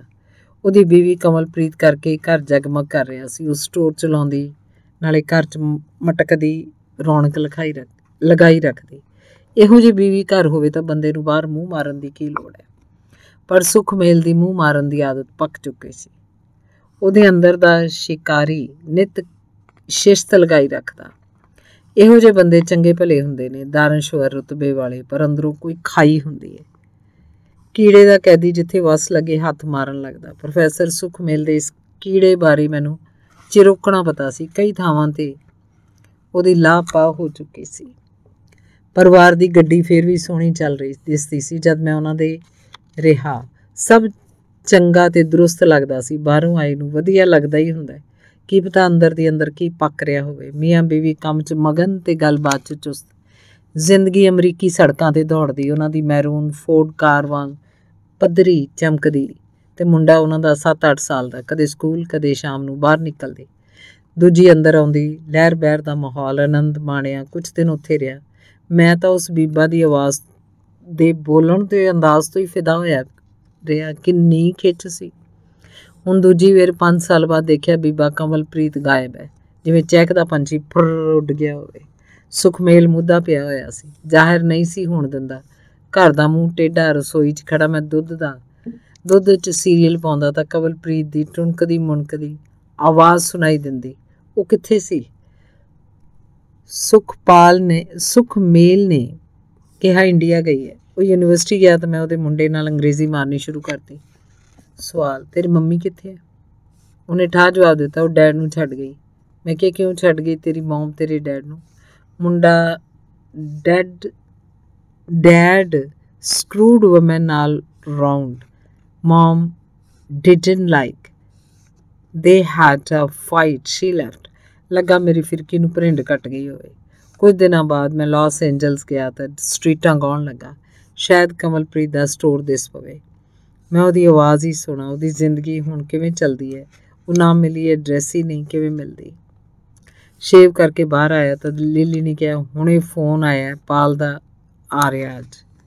ਅਚਾਨਕ ਮੇਰੀ ਨੀਂਦ ਖੁੱਲਦੀ ਹੈ। ਸਰਾਣੇ ਵਾਲੀ ਟੇਬਲ ਲੈਂਪ ਜਗਾ ਕੇ ਮੈਂ ਸਮਾਂ ਦੇਖਦਾ।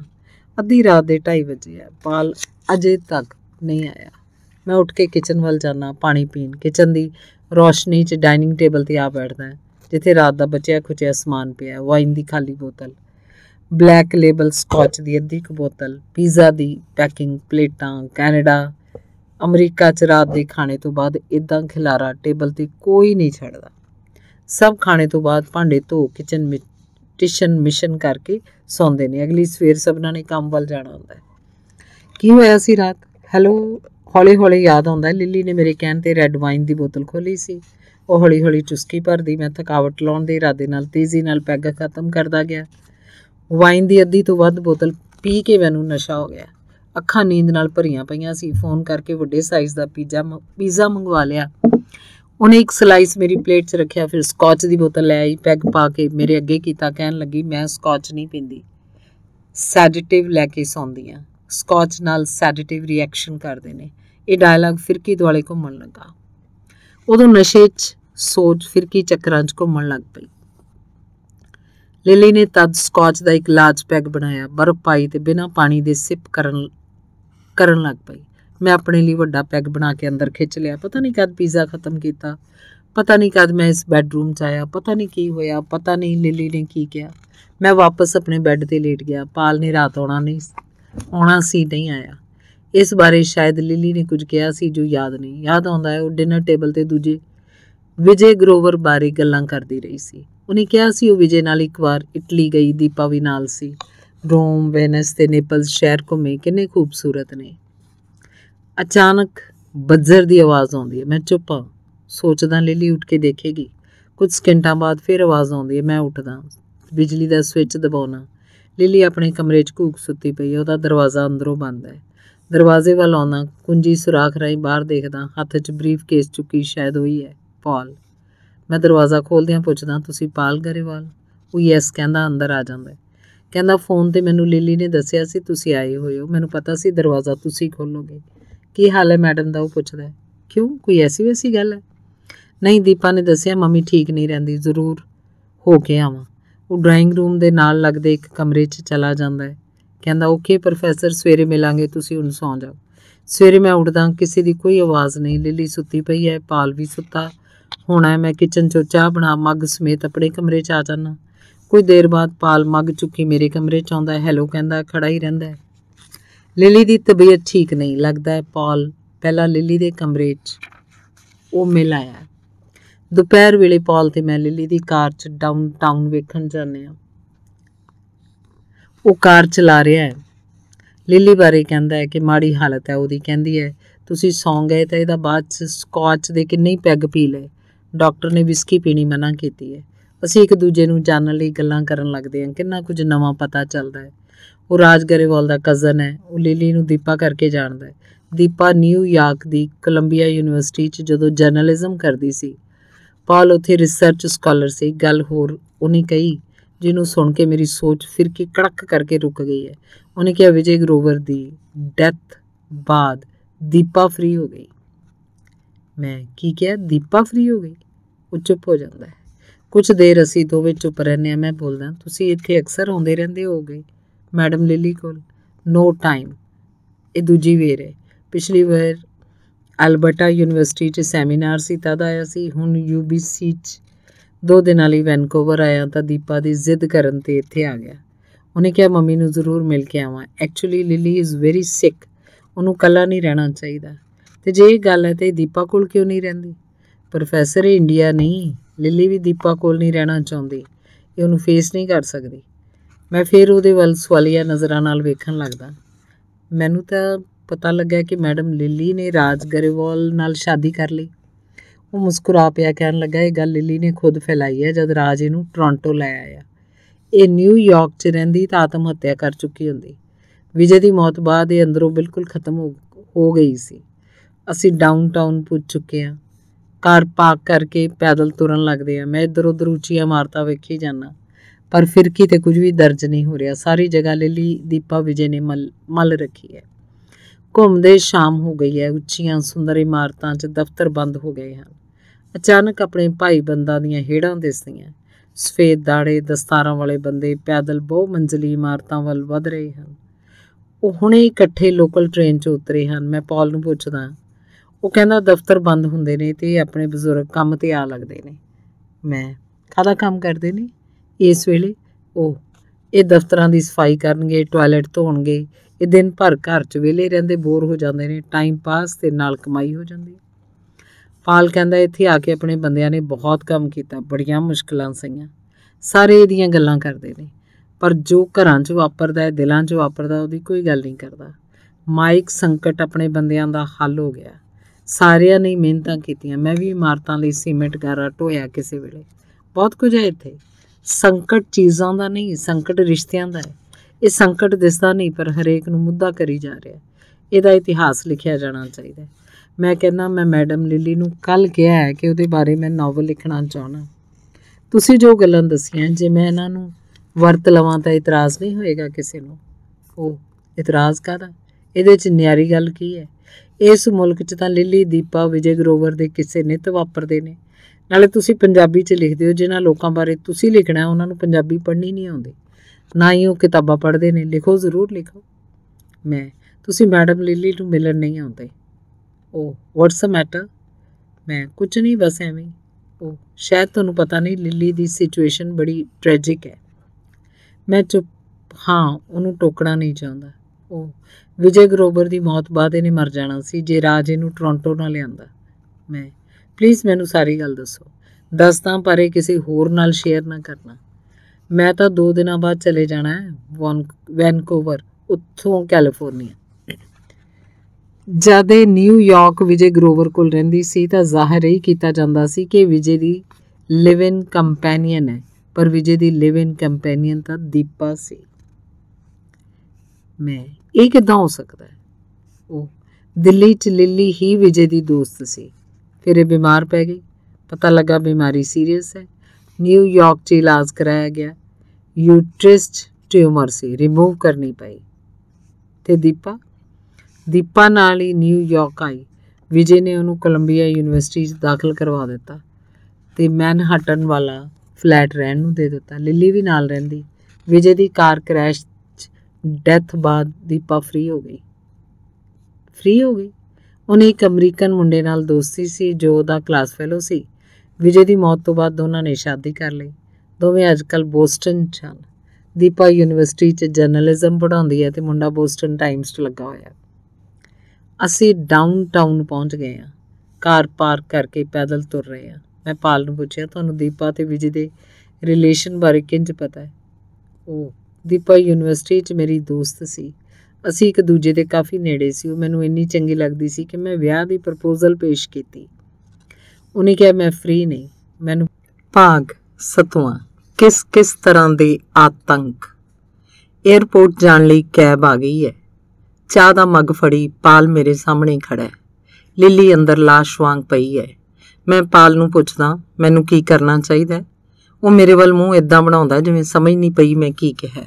ਮੈਂ ਫੇਰ ਬੋਲਦਾ, ਮੈਂ ਵੀ ਹੁਣੇ ਚਲਾ ਜਾਣਾ ਉਹ ਕਹਿੰਦਾ, ਤੁਸੀਂ ਵੀ ਜਾਓ। ਮੈਂ ਕਿਹਾ, ਲਿਲੀ ਇਕੱਲੀ, ਕੋਈ ਦੇਖਣ ਵਾਲਾ ਨਹੀਂ।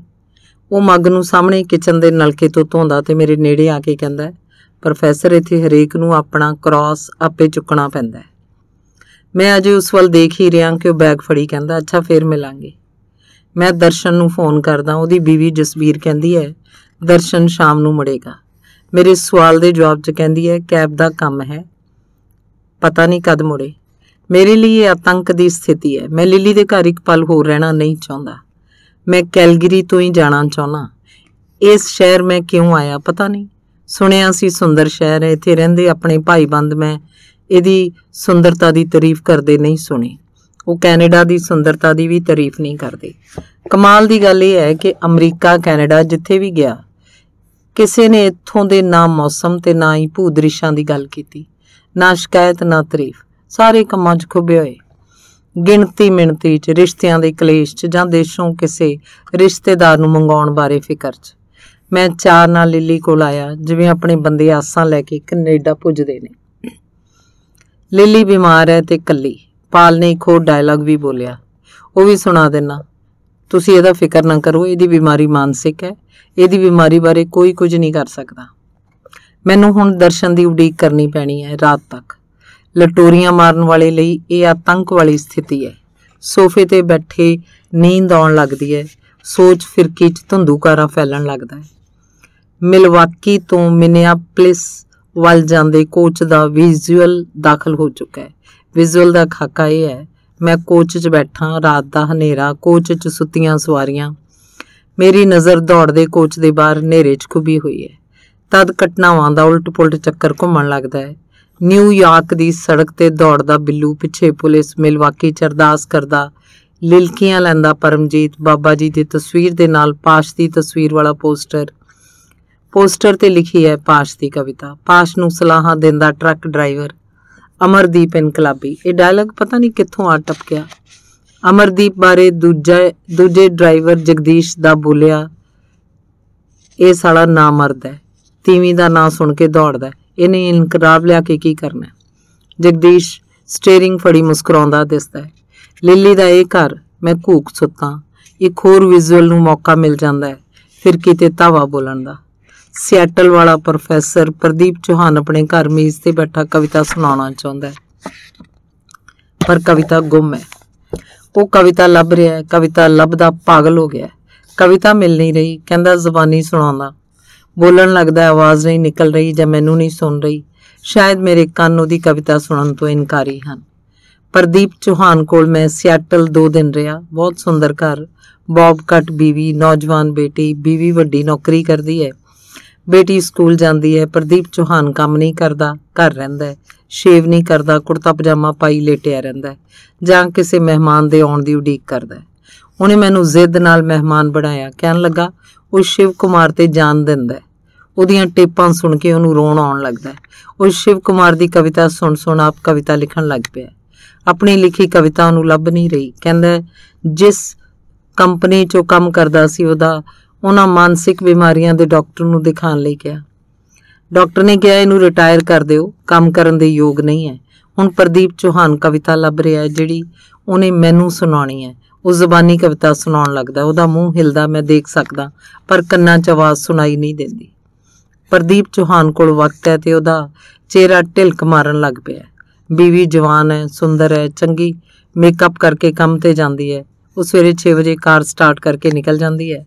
ਤਦ ਪ੍ਰਦੀਪ ਚੌਹਾਨ ਸੁੱਤਾ ਹੁੰਦਾ ਹੈ। ਬੀਵੀ ਕੰਮ ਤੋਂ ਆਉਂਦੀ ਹੈ, ਚੌਹਾਨ ਆਪਣੇ ਕਮਰੇ 'ਚ ਹੁੰਦਾ ਹੈ। ਉਹਦੇ ਕੋਲ ਵਕਤ ਬਹੁਤ ਹੈ। ਹੁਣ ਉਹ ਭਾਰਤ ਦੇਸ਼ ਬਾਰੇ ਸੋਚਣ ਲੱਗ ਪਿਆ ਹੈ। ਉਹ ਰਿਸ਼ੀਕੇਸ਼ ਜਾਣਾ ਚਾਹੁੰਦਾ ਹੈ, ਉਹ ਇੰਡੀਆ ਨੂੰ ਬਹੁਤ ਯਾਦ ਕਰਦਾ ਹੈ। ਉਹ ਮੇਰੇ ਨਾਲ ਸ਼ਿਵ ਕੁਮਾਰ ਬਾਰੇ ਹੀ ਗੱਲਾਂ ਕਰਦਾ ਹੈ। ਕਈ ਤਰ੍ਹਾਂ ਦੇ ਝਲਵਲਲ ਫਿਰਕੀ ਚ ਉਤਰ ਰਹੇ ਨੇ। ਮੇਰੀ ਨੀਂਦ ਖੁੱਲਦੀ ਹੈ, ਅੰਦਰ ਲੀਲੀ ਲਾਸ਼ ਵਾਂਗ ਪਈ ਹੈ। ਮੇਰੀ ਲਟੋਰੀ ਕਿਰਕਰੀ ਹੋ ਰਹੀ ਹੈ। ਮੈਂ ਦਰਸ਼ਨ ਨੂੰ ਢੀਕ ਰਿਹਾ। ਉਹਦਾ ਤਾਂ ਪਤਾ ਨਹੀਂ। ਮੈਨੂੰ ਦਰਸ਼ਨ ਤੇ ਗੁੱਸਾ ਕਿਉਂ ਆਈ ਜਾ ਰਿਹਾ ਹੈ? ਉਹ ਆਏਗਾ ਤਾਂ ਮੈਂ ਉਹਨੂੰ ਕਹਿਣਾ ਦੇਖ ਲਿਆ ਤੇਰਾ ਕੈਲਗਰੀ, ਮੈਨੂੰ ਕੋਚ ਸਟੇਸ਼ਨ ਤੇ ਛੱਡਾ ਮੈਂ ਵੈਨਕੂਵਰ ਜਾਣਾ ਮੈਂ ਕੈਨੇਡਾ ਨੂੰ ਕੈਨੇਡਾ ਵਾਂਗ ਨਹੀਂ ਦੇਖਿਆ, ਨਾ ਅਮਰੀਕਾ ਨੂੰ ਅਮਰੀਕਾ ਵਾਂਗ, ਜਿੱਥੇ ਗਿਆ ਆਪਣੇ ਬੰਦਿਆਂ ਦੇ ਵੱਸ ਪੈ ਗਿਆ। ਸਵੇਰੇ ਪਰੌਂਠੇ, ਦੁਪਹਿਰ ਨੂੰ ਲਾਰਜ ਸਾਈਜ਼ ਸਮੋਸੇ, ਇੱਕ ਥਾਂ ਗਿਆ, ਉੱਥੇ ਕੋਈ ਫੰਕਸ਼ਨ ਹੋ ਰਿਹਾ ਸੀ ਬੱਚਿਆਂ ਦੀਆਂ ਖੇਡਾਂ ਦਾ। ਮਾਂ-ਬਾਪ ਵੀ ਆਏ ਸਨ, ਛੁੱਟੀ ਦਾ ਦਿਨ ਸੀ ਜਾਂਦੇ ਜਲੇਬੀਆਂ ਖਾਣ ਨੂੰ ਮਿਲੀਆਂ ਤੇ ਸਮੋਸੇ, ਅਮਰੀਕਾ, ਕੈਨੇਡਾ 'ਚ ਜਾਂ ਯੂਰਪ 'ਚ ਮੈਨੂੰ ਸਵਾਏ ਆਪਣੇ ਬੰਦਿਆਂ ਦੇ ਕਿਸੇ ਹੋਰ ਬੰਦੇ ਨਾਲ ਮੇਲ ਮਿਲਾਪ ਦਾ ਮੌਕਾ ਨਹੀਂ ਮਿਲਿਆ। ਮੈਂ ਕੈਨੇਡਾ, ਅਮਰੀਕਾ ਦੀਆਂ ਹਜ਼ਾਰਾਂ ਮੀਲਾਂ ਤੱਕ ਸੜਕਾਂ ਗਾਹ ਕੇ ਵੀ ਦੋਨਾਂ 'ਚੋਂ ਕੋਈ ਦੇਸ਼ ਦੇਖ ਨਹੀਂ ਸਕਿਆ। ਆਪਣੇ ਭਾਈ ਬੰਦਾਂ ਨੂੰ ਹੀ ਦੇਖ ਸਕਿਆ ਜੋ ਇੱਥੇ ਕੰਮ ਤਾਂ ਕਰਦੇ ਆ ਪਰ ਰਹਿੰਦੇ ਨਹੀਂ। ਜੇ ਰਹਿੰਦੇ ਆ ਤਾਂ ਰਿਲੇਟ ਨਹੀਂ ਕਰਦੇ। ਇਹ ਦੇਖਣ ਦਾ ਹੀ ਮੌਕਾ ਮਿਲਦਾ ਰਿਹਾ ਹੈ। ਆਪਣੇ ਲੋਕ ਇੱਥੇ ਕਿਵੇਂ ਰਹਿੰਦੇ ਨੇ ਪਰ ਕਾਹਦਾ ਮੌਕਾ? ਇਹ ਲੋਕ ਤਾਂ ਰਹਿੰਦੇ ਹੀ ਨਹੀਂ ਕਿਤੇ, ਨਾ ਘਰ 'ਚ, ਨਾ ਕੰਮ ਤੇ। ਇਹ ਤਾਂ ਕੰਮਾਂ ਦੇ ਗੇੜ 'ਚ ਗਿੜ ਰਹੇ ਨੇ। ਇਹ ਗੱਲਾਂ ਮੈਂ ਇਸ ਗਲਪ ਟੁਕੜੀ ਦੇ ਸੂਤਰ ਧਾਰ ਵਜੋਂ ਬੋਲ ਰਿਹਾ। ਲਿੱਲੀ ਦੇ ਘਰ ਲਾਚਾਰ ਬੈਠਾ, ਮੈਂ ਇਸ ਗਲਪ ਦਾ ਪਾਤਰ ਵੀ ਬਣੀ ਬੈਠਾ। ਦੋਨੋਂ ਕਿਰਦਾਰਾਂ ਰਾਹੀਂ ਇਸ ਗਲਪ ਦੀ ਜੋ ਬਣਤ ਤਿਆਰ ਹੋ ਰਹੀ ਹੈ, ਉਹਨੂੰ ਆਤੰਕ ਤੇ ਇਕੱਲਤਾ ਦਾ ਨਾਂ ਦਿੱਤਾ ਜਾਂਦਾ, ਜਾਣਾ ਚਾਹੀਦਾ ਲਿੱਲੀ ਦਾ ਇਕੱਲਾ ਹੋਣਾ ਹੀ ਮੈਨੂੰ ਆਤੰਕ ਲੱਗਦਾ ਹੈ। ਦਰਸ਼ਨ ਦੀ ਦੂਜੀ ਬੀਵੀ ਜਸਵੀਰ ਦਾ ਕੈਨੇਡਾ ਆਉਣਾ ਆਤੰਕ ਹੈ। ਦਰਸ਼ਨ ਦੇ ਮੁੰਡੇ ਦਾ ਜਸਵੀਰ ਨੂੰ ਫੱਕ ਆਫ ਯੂ ਵਿੱਚ ਕਹਿ ਕੇ ਘਸੋਂ ਠੋਕਣਾ ਆਤੰਕ ਹੈ। ਮੈਂ ਸੋਚ ਰਿਹਾ ਮਿੰਨਿਆਪਲਿਸ ਸ਼ਹਿਰ ਬਾਰੇ ਜਿੱਥੇ ਮੇਰਾ ਕੋਚ ਅੱਧੀ ਰਾਤ ਨੂੰ ਪੁੱਜਾ। ਸੂਤਰਧਾਰ ਵਜੋਂ ਮੈਂ ਜਾਣਕਾਰੀ ਦੇਣਾ ਚਾਹੁੰਦਾ ਕਿ ਮਿੰਨਿਆਪਲਿਸ ਸ਼ਹਿਰ ਮਿਸਿਸਿਪੀ ਦਰਿਆ ਦੇ ਕਿਨਾਰੇ ਹੈ। ਮਿਸਿਸਿਪੀ ਨਾਂ ਦਾ ਦਰਿਆ ਸੰਸਾਰ 'ਚ ਸਭ ਤੋਂ ਲੰਮਾ ਦਰਿਆ ਹੈ। ਦਰਿਆ ਦੇ ਇੱਕ ਕਿਨਾਰੇ ਮਿੰਨਿਆਸ ਮਿਨਿਆਪਲਿਸ ਸ਼ਹਿਰ ਹੈ, ਦੂਜੇ ਕਿਨਾਰੇ ਸੇਂਟ ਪਾਲ। ਇਸ ਥਾਂ ਦਾ ਨਾਤਾ ਸੰਗਲਾਂ 'ਚ ਬੰਨੇ ਕਾਲੇ ਗੁਲਾਮਾਂ ਨਾਲ ਹੈ। ਗੋਰੇ ਯੂਰਪੀ ਬੰਦੂਕਾਂ ਨਾਲ ਲੈਸ ਅਫਰੀਕਾ ਜਾਂਦੇ, ਉੱਥੋਂ ਦੇ ਵਾਸੀਆਂ ਨੂੰ ਗੁਲਾਮ ਬਣਾਉਂਦੇ ਤੇ ਯੂਰਪ ਦੇ ਵਪਾਰ ਅੱਡਿਆਂ ਤੇ ਆ ਜਾਂਦੇ। ਵਪਾਰੀ ਗੁਲਾਮ ਖਰੀਦਦੇ ਤੇ ਸੰਗਲਾਂ ਨਾਲ ਬੰਨ ਉਹਨਾਂ ਨੂੰ ਜਹਾਜ਼ 'ਚ ਲਾਦ ਲੈਂਦੇ। ਰਾਹ 'ਚ ਜਿਹੜੇ ਬਿਮਾਰ ਪੈ ਜਾਂਦੇ, ਉਹਨਾਂ ਨੂੰ ਸਮੁੰਦਰ 'ਚ ਸੁੱਟ ਦਿੰਦੇ। ਜਹਾਜ਼ ਮਿਸਿਸਿਪੀ ਦਰਿਆ ਦੇ ਇਸ ਸ਼ਹਿਰ 'ਚ ਪੁੱਜਦਾ। ਕੋਚ ਇਸ ਸ਼ਹਿਰ ਚੋਂ ਗੁਜ਼ਰਦਿਆਂ ਮਿਸਿਸਿਪੀ ਦਰਿਆ ਪਾਰ ਕਰਦਿਆਂ ਅੱਡੇ ਤੇ ਪੁੱਜ ਗਿਆ। ਅੱਗੇ ਸੁਣੋ, ਅਮਰੀਕਾ ਨਾਂ ਦਾ ਇਹ ਦੇਸ਼ ਰੱਕੜ ਜ਼ਮੀਨ ਤੋਂ ਇੰਨਾ ਸੁੰਦਰ, ਰਮਣੀਕ, ਵਿਕਸਤ ਕਿਵੇਂ ਬਣ ਗਿਆ? ਬੰਦੂਕ ਦੇ ਆਸਰੇ ਅੱਜ ਵਰਗਾ ਅਮਰੀਕਾ ਬਣਿਆ। ਯੂਰਪੀ ਇੱਥੇ ਬੰਦੂਕ ਲੈ ਕੇ ਹੀ ਆਏ। ਬੰਦੂਕ ਨੇ ਪਹਿਲਾਂ ਆਦਿਵਾਸੀਆਂ ਨੂੰ ਭੁੰਨਿਆ, ਫਿਰ ਬੰਦੂਕ ਨੇ ਗੁਲਾਮ ਕਾਬੂ ਕੀਤੇ, ਤਦ ਤੋਂ ਹੀ ਬੰਦੂਕ ਅਮਰੀਕੀ ਜੀਵਨ ਦਾ ਹਿੱਸਾ ਬਣੀ ਹੋਈ ਹੈ। ਮੀਲਾਂ ਤੱਕ ਫੈਲੇ ਫਾਰਮਾਂ 'ਚ ਗੁਲਾਮ ਕਾਸ਼ਤ ਕਰਦੇ, ਜਲੀਲ ਹੁੰਦੇ ਇਹਨਾਂ ਦੀਆਂ ਤੀਵੀਆਂ ਗੋਰੀ ਹਵਸ ਦਾ ਸ਼ਿਕਾਰ ਬਣਦੀਆਂ। ਗੁਲਾਮ ਦੌੜਨ ਦੀ ਕੋਸ਼ਿਸ਼ ਕਰਦਾ, ਗੋਲੀ ਨਾਲ ਭੁੰਨ ਦਿੱਤਾ ਜਾਂਦਾ। ਦੌੜਨ ਵਾਲੇ ਕਾਲੇ ਨੂੰ ਕਈ ਵਾਰ ਪੱਥਰ ਮਾਰ-ਮਾਰ ਲਹੂ ਲੁਹਾਨ ਕਰ ਦਿੱਤਾ ਜਾਂਦਾ। লাশ ਰੁਲਦੀ ਰਹਿੰਦੀ। ਵਿਲੀਅਮ ਫੌਕਨਰ ਦਾ ਨਾਵਲ ਲਾਈਟ ਇਨ ਆਗਸਟ ਤੇ ਹੋਰ ਕਈ ਨਾਵਲਕਾਰਾਂ ਨੇ ਇਹਨਾਂ ਦਾ ਨਕਸ਼ਾ ਖਿੱਚਿਆ ਕੋਚ ਇਸ ਖੂਨੀ ਧਰਤੀ 'ਚ ਘੰਟਿਆਂ ਤੀਕ ਦੌੜਦਾ ਰਿਹਾ। ਸੁੱਤ ਨੀਂਦੇ 'ਚ ਕਿੰਨਾ ਕੁਝ ਸੋਚਦਾ ਮੈਂ ਸੌਂ ਗਿਆ। ਜਾਗ ਖੁੱਲਦੀ ਹੈ ਜਦ ਡਰਾਈਵਰ ਚੱਲਦੇ ਕੋਚ ਵਿੱਚ। ਮਾਈਕ ਤੇ ਕੁਝ ਅਨਾਉਂਸ ਕਰਦਾ ਹੈ। ਡਰਾਈਵਰ ਨੇ ਕੀ ਕਿਹਾ ਪਤਾ ਨਹੀਂ ਲੱਗਦਾ। ਕੋਚ ਸ਼ਹਿਰ 'ਚ ਦਾਖਲ ਹੋ ਚੁੱਕਾ ਹੈ। ਅੱਡੇ ਤੇ ਆ ਗਿਆ। ਇਹ ਮਿਨੀਐਪਲਿਸ ਹੈ, ਜਿੱਥੇ ਘੰਟੇ ਬਾਅਦ ਦੂਜੀ ਬੱਸ ਮਿਲਣੀ ਹੈ। ਮੈਂ ਡਰਾਈਵਰ ਨੂੰ ਪੁੱਛਦਾ, ਤੂੰ ਕੁਝ ਅਨਾਉਂਸ ਕੀਤਾ ਕੀ ਕਿਹਾ? ਬਲੈਕ ਡਰਾਈਵਰ ਤਲਖ ਤੱਕਣੀ ਸੁੱਟਦਾ ਤੇ ਮੋਢਾ ਉਛਾਲਦਾ ਮੈਂ ਵੇਟਿੰਗ ਰੂਮ ਵੱਲ ਆ ਜਾਣਾ ਬੈਗ ਨੂੰ ਨਾਲ ਵਾਲੀ ਖਾਲੀ ਕੁਰਸੀ ਤੇ ਰੱਖ ਮੈਂ ਡੌਰ ਭਾਰ ਆਸ-ਪਾਸ ਦੇਖਣ ਲੱਗਦਾ। ਦ੍ਰਿਸ਼ ਖਤਮ। ਲਿੱਲੀ ਦੇ ਘਰ ਸੋਫੇ ਤੇ ਬੈਠਾ ਪਸੀਨਾ ਆ ਜਾਂਦਾ ਹੈ। ਮੈਂ ਉਸ ਬੰਦੇ ਦੀ ਉਡੀਕ ਕਰ ਰਿਹਾ ਜਿਸ ਬਾਰੇ ਪਤਾ ਨਹੀਂ ਉਹਨੇ ਕਦ ਆਉਣਾ ਹੈ। ਕਸੂਤੀ ਸਥਿਤੀ 'ਚ ਫਸਿਆ ਬੈਠਾ। ਇਕੱਲਾ ਤੇ ਆਤੰਕਿਤ। ਕਿਚਨ 'ਚ ਜਾ ਕੇ ਜੂਸ ਦਾ ਗਲਾਸ ਲੈ ਆਉਣਾ। ਹੌਲੀ-ਹੌਲੀ ਸਿਪ ਕਰਦਾ। ਅਮਰੀਕਾ, ਕੈਨੇਡਾ ਦੀ ਲਟੋਰੀ ਬਾਰੇ ਸੋਚਦਾ। ਬੰਦੇ ਤਾਂ ਸੱਚਮੁੱਚ ਇਕੱਲਾ ਰਹਿ ਗਿਆ। ਬੰਦਾ ਤਾਂ ਸੱਚਮੁੱਚ ਇਕੱਲਾ ਰਹਿ ਗਿਆ। ਇਕੱਲਤਾ ਬਾਰੇ ਮੈਂ ਲਾਸ ਐਂਜਲਸ ਵਾਲੇ ਕਰਮਜੀਤ ਨਲਵਾ ਨੂੰ ਮਿਲਣ ਬਾਅਦ ਚੇਤਨ ਹੋਇਆ।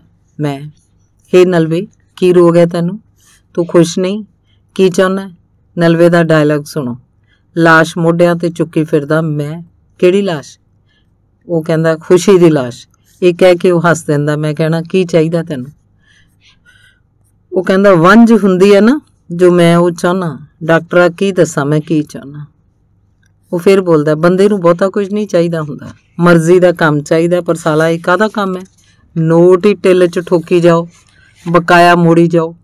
ਨੋਟਾਂ ਦੀ ਗਿਣਤੀ ਕਰਕੇ ਬੈਂਕ 'ਚ ਜਾ ਜਮ੍ਹਾਂ ਕਰਾਓ ਤੇ ਪਿੱਕਾ ਚੁੱਕ ਵੇਅਰ ਹਾਊਸ ਤੋਂ ਸਮਾਨ ਖਰੀਦ ਲਿਆਓ। ਪ੍ਰੋਫੈਸਰ ਪਾਸ਼ ਕਹਿੰਦਾ ਹੁੰਦਾ ਸੀ, ਇਹ ਕੰਮ ਨਹੀਂ ਕੀਸੀ ਹੈ ਮੇਰੀ ਤਾਂ ਹੁਣ ਸੋਚ ਨਹੀਂ ਚੱਲਦੀ। ਉਹ ਬੋਲਦਾ, ਪੰਜਾਬ 'ਚ ਹੋਰ ਕੁਝ ਨਹੀਂ, ਤਾਂ ਸੋਚੀਦਾ ਖੂਬ ਸੀ। ਦਿਨ ਰਾਤ ਸੋਚੀਦਾ ਸੀ ਵੀ ਦੁਨੀਆ ਉਲਟਾ ਦਿਓ। ਇਨਕਲਾਬ ਬਾਰੇ ਸੋਚੀਦਾ ਸੀ। ਹੁਣ ਤਾਂ ਸਾਰੀ ਫੈਮਿਲੀ ਡਾਲਰਾਂ ਦੀ ਕੀਸੀ ਕਰੀ ਜਾਂਦੀ ਹੈ ਮੇਰੀ ਬੀਵੀ, ਮੁੰਡਾ, ਸਾਲਾ, ਉੱਤੋਂ ਮੇਰਾ ਸਹੁਰਾ ਉਹਨੂੰ ਫਿਰਦਾ। ਮੈਂ ਆਨਾ ਇਦਾਂ ਤਾਂ ਸਾਰਾ ਹੁਸ਼ਿਆਰਪੁਰ ਖਾਲੀ ਹੋ ਜਾਏਗਾ। ਇੰਡੀਆ ਤੋਂ ਮੇਰਾ ਸਹੁਰਾ ਸਾਹਿਬ ਫੋਨ ਤੇ ਫੋਨ ਠੋਕੀ ਜਾਂਦਾ ਅਖੇ ਪਰਵਾਹ ਨਾ ਕਰਾਂ। ਮੈਨੂੰ ਬੈਠੂ ਸਾਰਾ ਦਿਨ ਸਟੋਰ ਤੇ। ਅੱਗੋਂ ਇਹ ਡਾਲਰ ਜਾਦੀ ਮੇਰੀ ਬੀਵੀ ਕਹੀ ਜਾਂਦੀ ਹੈ ਕਿ ਇੱਕ ਹੋਰ ਗੈਸ ਸਟੇਸ਼ਨ ਲੀਜ਼ ਤੇ ਲੈ ਲਵਾਂ।